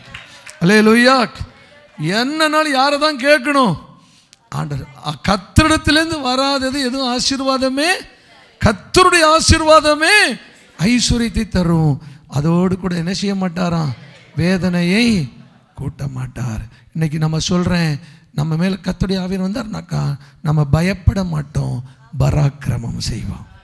ஆமீன். சொல்லுங்க. எங்களோட திருச்சபை மக்களெல்லாம் பார்த்தீங்கன்னா பெரிய பெரிய அற்புதங்களை செய்கிறாங்க பிசாசுக்கு சவால் விடுறாங்க. பிரைசலோட லோயா ஆமேன். இந்த உலகத்தில் பிசாசு தன்னை பெரிய ஆளாக காட்டிகிட்டு இருக்கிறான். நம்ம இந்த உலகத்துக்கு அந்த பிசாசை டம்மி பீஸ்னு காட்டணும். ஆமென். சொல்லுங்க. போகிற இடத்துலலாம் பிசாசை என்ன செய்யணும்? ஏசன் சிலுவையில் என்ன பண்ணாராம் எல்லாத்தையும் உரிந்து கொண்டுன்னு போட்டிருக்கு. அதை சரியாக மொழிபெயர்த்துருந்தா அம்மடக்கட்டை ஆக்கின்னு அர்த்தம். அல்லையா அவ்வளோ தூரம் அவமானப்படுத்தினாராம். யாரை? பிசாசு. இன்றைக்கி ரொம்ப பேர் டீசெண்டாக பிஹேவ் பண்ணுறாங்க பிசாசுக்கிட்ட இந்த கோடை போகிற நீ அங்கே இருக்கணும் அங்கே இருப்பேன் இந்த கோட்டை தாண்டி நானும் வரமாட்டேன். இந்த கோட்டை தாண்டி என்ன செய்யக்கூடாது? நீயும் நம்ம சொல்லணும் டாய் உன் கோட்டை தாண்டி வந்து உன் கோட்டையை உடைப்பேன்னு நம்ம சொல்லணும். அல்ல எப்போதுமே பிசாசு கர்ஜிக்கிற சிங்கம் அல்ல. சிங்கம்? ஒரு அலையிலையா சொல்லுங்க. சிங்கம் போல என்ன பண்ணுவான்? மிரட்டுவான் எங்க அப்பா சொல்லுவார் ஒரு நாள் எங்க அப்பா இருக்கும்போது உழைத்த காலத்தில் ஒரு எஸ்ஐ அந்த ஊருக்கு வந்தார் கன்னியாகுமரிக்கார் கிறிஸ்தவர். அவங்க வீட்டில் திடீர்னு காலைல ஃபோன் வருது. ஐயா எங்கள் வீட்டுக்கு வாங்க. என்ன? எங்கள் வீட்டு வேலைக்காரிக்கு பிசாசு பிடிச்சிருச்சு. ஏதோ முறைக்கிறா கத்துறான்னு. எங்கள் அப்பா கிளம்புனாங்க. நானும் கூட போனேன். அங்கே போய் பார்த்தாக்கா ஒருத்தர் அந்த அந்த பிசாசை பார்த்தா அது முறைச்சிக்கிட்டு நிற்கிது அந்த பொண்ணு. அப்போ தான் தெரிஞ்சுக்கிட்டேன் பெந்தகோசக்காரன்னா விரட்டுறவன். அல்லையா பெந்தகோசுக்காரன் உலகத்தை கலக்கிறவன். மற்றவெல்லாம் உலகத்தை கண்டு கலங்குறவன். இப்போ சொல்லுங்க நம்ம கலக்கிறவங்களா கலங்குறவங்களா? அதனால தான் ஆண்டு சொன்னார் யுத்தத்து போகும்போது பயந்தாங்குழிலாம் என்ன பண்ணிவிடு முதல்ல ஓடி அப்படி சொன்னால் நம்ம நாட்டில் பாதி ஊழியக்காரன் வீட்டுக்கே ஓடிடுவோம் இன்னைக்கு தேவை எலியா மாதிரி தைரியமாக நிற்கிறவங்க தான். ஹalleluya நாங்களும் அந்த விசுவாசத்தின் ஆவியை உடையவர்களோ இருந்து அவன் சிங்கம் இல்லைங்க அவன் யாரு? ஒரு சமயம் ஒரு பையன் படிச்சுட்டு வேலைக்கு போனான் வேலையே கிடைக்கல. ஒரு சர்க்கஸ் கம்பெனிக்கு போய் வேலை கேட்டான். என்ன கேட்டான்? ஐயா எனக்கு ஒரு வேலை கொடுங்க. ஒன்றும் இல்லை எங்கள் சர்க்கஸ் கம்பெனியில் ஒரு குரங்கு இருந்துச்சு. அதுக்கு தான் கூட்டமே வரும் அது செத்து போச்சு. அந்த தோலெல்லாம் உரித்து நாங்கள் வச்சுருக்குறோம். உனக்கு மாட்டி விட்டுருவோம். அதை மாதிரியே நீ ஆக்ஷன் பண்ணணும் நாங்களாம். இவன் அந்த குரங்கு வேஷத்தை போட்டுட்டு ஆடி ஆடிட்டு இருந்திருக்கிறான். திடீர்னு ஆன போய் சிங்கக்கூண்டில் விழுந்துட்டான். சிங்கம் பார்த்து ஓடுச்சு இவன் சொன்னா ஐயோ எனக்கு அடிச்சிடாத நான் பிஏன்னா சிங்கம் சொன்னிச்சு நான் எம்ஏன்னு என்ன எம்ஏன்னு வாய் திறந்து பேசுனா? அவனும் வேலை இல்லாம அவன் சிங்க வேஷம் போட்டிருக்கான். அதனாலதான் பேதர் சொல்றாரு உங்களை எதிராளியாக பிசாசானவன் சிங்கம் இல்ல சிங்கம் போல வர்றோம். ஆனா உண்மையான சிங்கம் யாரு? நம்ம யூதா கோத்திரத்து சிங்கத்தினுடைய பிள்ளைகள். எங்கள் தேவனாலே நாங்கள் பராக்கிரமா செய்வோம். அல்லேலூயா. என்ன செய்வோம்? பயப்படவே மாட்டோம். நீ என்ன பண்ணாலும் சரி. முன் வச்ச காலை என்ன செய்ய மாட்டோம்? எல்லாரும் எளிமையை இருக்கலாம். எல்லாம் கண்ணை மூடுவோம். வேற ஆவி இருந்தாதான் வேற மனுஷனா மாற முடியும். எத்தனை பேர் ஒத்துக்கொள்றோம்? ஆண்டவர் சவுலுக்கு தான் சொன்னாரு கத்தருடைய ஆவியான உண்மையில வருவாரு. நீ எப்படி மாறிடுவ? இந்த ஆவி நமக்கிட்ட இருக்கிற ஆவி கபடில்லாத ஆவி. கபடில்லாத ஆவி பணிந்த ஆவி. அலையலுயா அலையலுயா ஆ விசேஷித்த ஆவி ஜபிக்கிற ஆவி. சேலஞ்சு பண்ற ஆவி. பராக்கிரமத்தின் ஆவி. ஆமென். இன்னும் ஃபாஸ்டா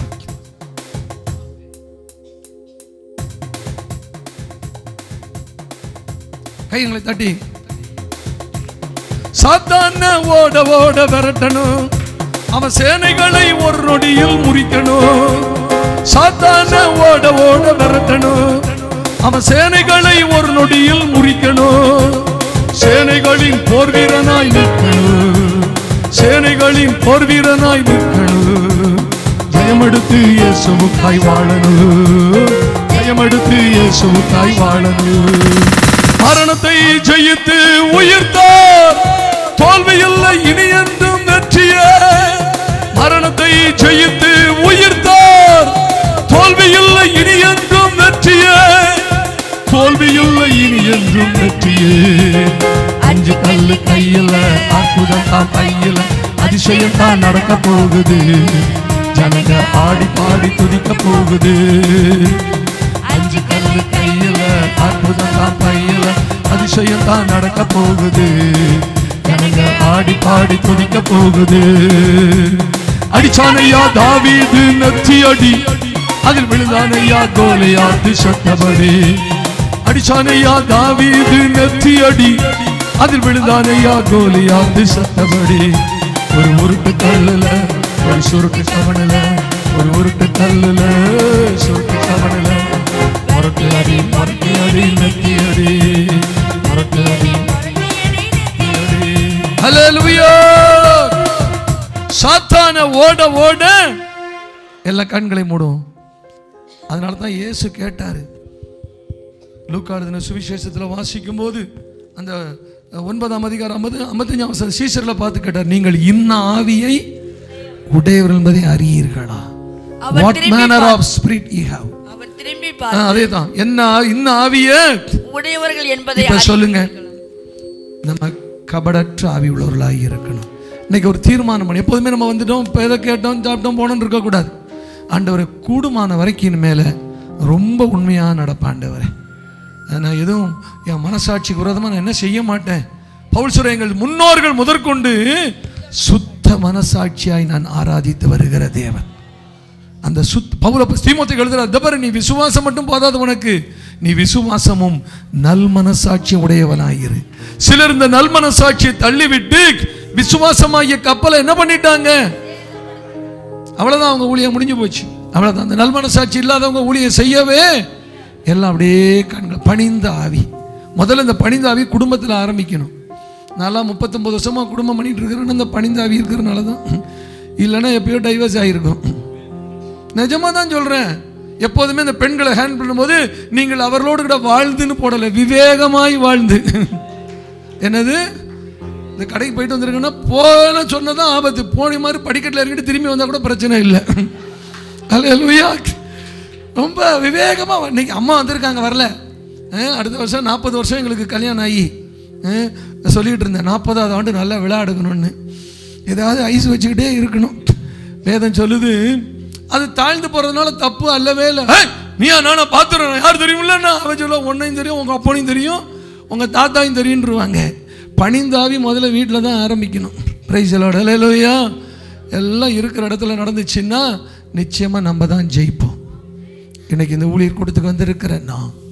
வேறே மனிதர்களாய் மாற வேண்டும். பழைய மனுஷன் அல்ல. பழைய மனுஷனை என்ன பண்ணிடுங்க? களைந்து போட்டு விட்டு பழைய மனுஷனை தூக்கி எரிஞ்சிடுங்க அந்த பழைய ஃப்ராடு பழைய இடக்கு முடக்கு குத்தலு குசும்பு இதெல்லாம் என்ன செய்யக்கூடாது? வேண்டாம். உண்மையாக நடப்போம். முன் நூற்றுக்கு நூறு முடியலன்னா கூட கொஞ்சம் கொஞ்சமாக வந்துடுவோம் அதனால தான் வேதம் சொல்லுது பரிசுத்தமாகுதலை. தெய்வ பரிசுத்தம் உடனே வந்துடாது அப்படியே கொஞ்சம் கொஞ்சமாக இனிமேல் அப்படிலாம் பேச மாட்டேன். உண்மையை தான் சொல்லுவேன். இப்படி தான் நடப்பேன். இப்படி செஞ்சுட்டே வந்துட்டோன்னு சொன்னால் வரும் நாட்களில் கத்தர் வல்லமையாக நம்மளை பயன்படுத்துவார். எத்தனை பேர் ஒத்துக்கொள்கிறோம் சரி உங்களுக்காக நான் ஒரு சின்ன ஜெபம் பண்ணிடுறேன். எல்லோரும் கண்களை மூடும் ஆண்டவரே அந்த பணிந்த ஆவி எனக்கு வரணும். கபடில்லாத ஆவி எனக்கு வரணும் ஐயா. ஜெபிக்கிற ஆவி. ஆண்டவரே பப்ளிக்கில் நான் ஜெபிக்கிறேன். ஆனால் தனி வாழ்க்கையில் நான் அதிகமாக ஜெபிக்கணும் ஆண்டவரே. நான் ஜெபிக்க உம்மோடு நான் உறவாடணும் வரைக்கும். நான் எப்போதும் பயப்படக்கூடாது. அந்த விசுவாசத்தின் ஆவியுடைய பராக்கிரம செய்வேன். என்னை பலப்படுத்துகிற கிறிஸ்துவினாலே ஓ எல்லாத்தையும் நான் செஞ்சிருவேன். செய்ய முடியாதுன்னு நான் சொல்ல மாட்டேன். உம்மாலே ஒரு சேனைக்குள் உம்மாலே ஒரு மதிலை. எல்லா கண்களை மூடி எங்கள் அன்பின் பரலோக பிதாவே இந்த நாளில் இந்த ஊழியர் கூடைக்கு வந்திருக்கிற உடைய பிள்ளைகள் எல்லாரையும் ஆசிர்வதிங்கப்பா. நாங்கள் சாதாரணமானவர்கள் அல்ல. விசேஷித்த ஆவியை உடையவர்கள் ஆண்டவரை ராஜாக்களுக்கு முன்பாக ஓ பெரிய பெரிய ஆட்களுக்கு முன்பாக நிற்கும்படி நாங்கள் தெரிந்து கொள்ளப்பட்டவர்கள். எங்களுக்கு நீர் சகல அதிகாரத்தையும் கொடுத்திருக்கிறீர். எங்களுக்கு சகல அதிகாரத்தையும் கொடுத்திருக்கிறீர். ஆனா பிசாசு மனக்கங்களை குருடாக்கி வச்சிருக்கிறான்ப்பா இப்படியெல்லாம் பண்ணாதான் பொய்யும் புரட்டும் பண்ணாதான் பொழைக்க முடியும்னு எங்க காதுல சொல்லி வச்சிருக்கிறான். அதெல்லாம் வேண்டாண்டவரே நீர் எப்படி உண்மை உள்ளவராக இருக்கு மோசே தன்னுடைய வீடு தேவன் வீட்டில் எங்கும் உண்மை இருந்தது போல இவரும் தாம் ஏற்படுத்தினவர் இருக்கு பிதாவாகிய தேவனுக்கு எப்படி உண்மை உள்ளவராய் இருந்தாரோ அதே போல உண்மை போல நாங்கள் உண்மை உள்ளவர்களாய் வாழ உதவி செய்யுங்க பணிந்தாவி வாழ உதவி செய்யுங்கப்பா. செபிக்கிற ஆவி எங்கள் மேல ஊற்றுங்க நாங்கள் ஒருபோதும் முன்வைத்த கால பின் வைக்க கூடாதப்பா. நீ எங்களுக்கு கொடுத்துருக்கிற அதிகாரத்தை நாங்கள் பயன்படுத்தி பராக்கிரமம் செய்ய உதவி செய்யுங்க வந்த எல்லாரையும் ஆசிரதிங்க இதை ஒழுங்குபடுத்தின அருமையான பாசி ஜபகுமார் அவர்களை ஆசிரியர் அவருடைய டீம் ஆசிர்வதிங்க. எல்லாரையும் ஆசிரியர் இந்த ஸ்தலத்து போதகரை ஆசிர்வதிப்பீராக. இந்த சபை இதற்கு பிறகு வேகமாய் வளரட்டும். பல மடங்கு வேகமாய் வளரட்டும். ஆசீர்வதிங்க. வரும் நாட்களில் நாங்கள் கபடற்றுள்ள இருக்கிற அப்படினால நாத்தானுகளை பார்த்து சொன்னீங்க இது அல்ல. இதிலும் பெரிதானவைகளை நாங்கள் பார்க்கணும். இதிலும் பெரிதானவைகளை நாங்கள் காண உதவி செய்யுங்க. தரை மட்டும் எங்களை அப்பிரோஜனமான ஊழியக்காரர்கள் செய்ய வேண்டிய கடமையை மாத்திரம் செய்திருக்கிறோம். விளைய செய்கிறவர் நீர் விளைய செய்யுங்க. தேசம் சீக்கிரத்தில் சந்திக்கப்படட்டும். எங்கள் தேசத்தில் எழும்பி கொண்டிருக்கிற பொல்லாத அந்த காட்டத்தி மரத்தை வேரோடு நாங்கள் பிடுங்குகிறோம்.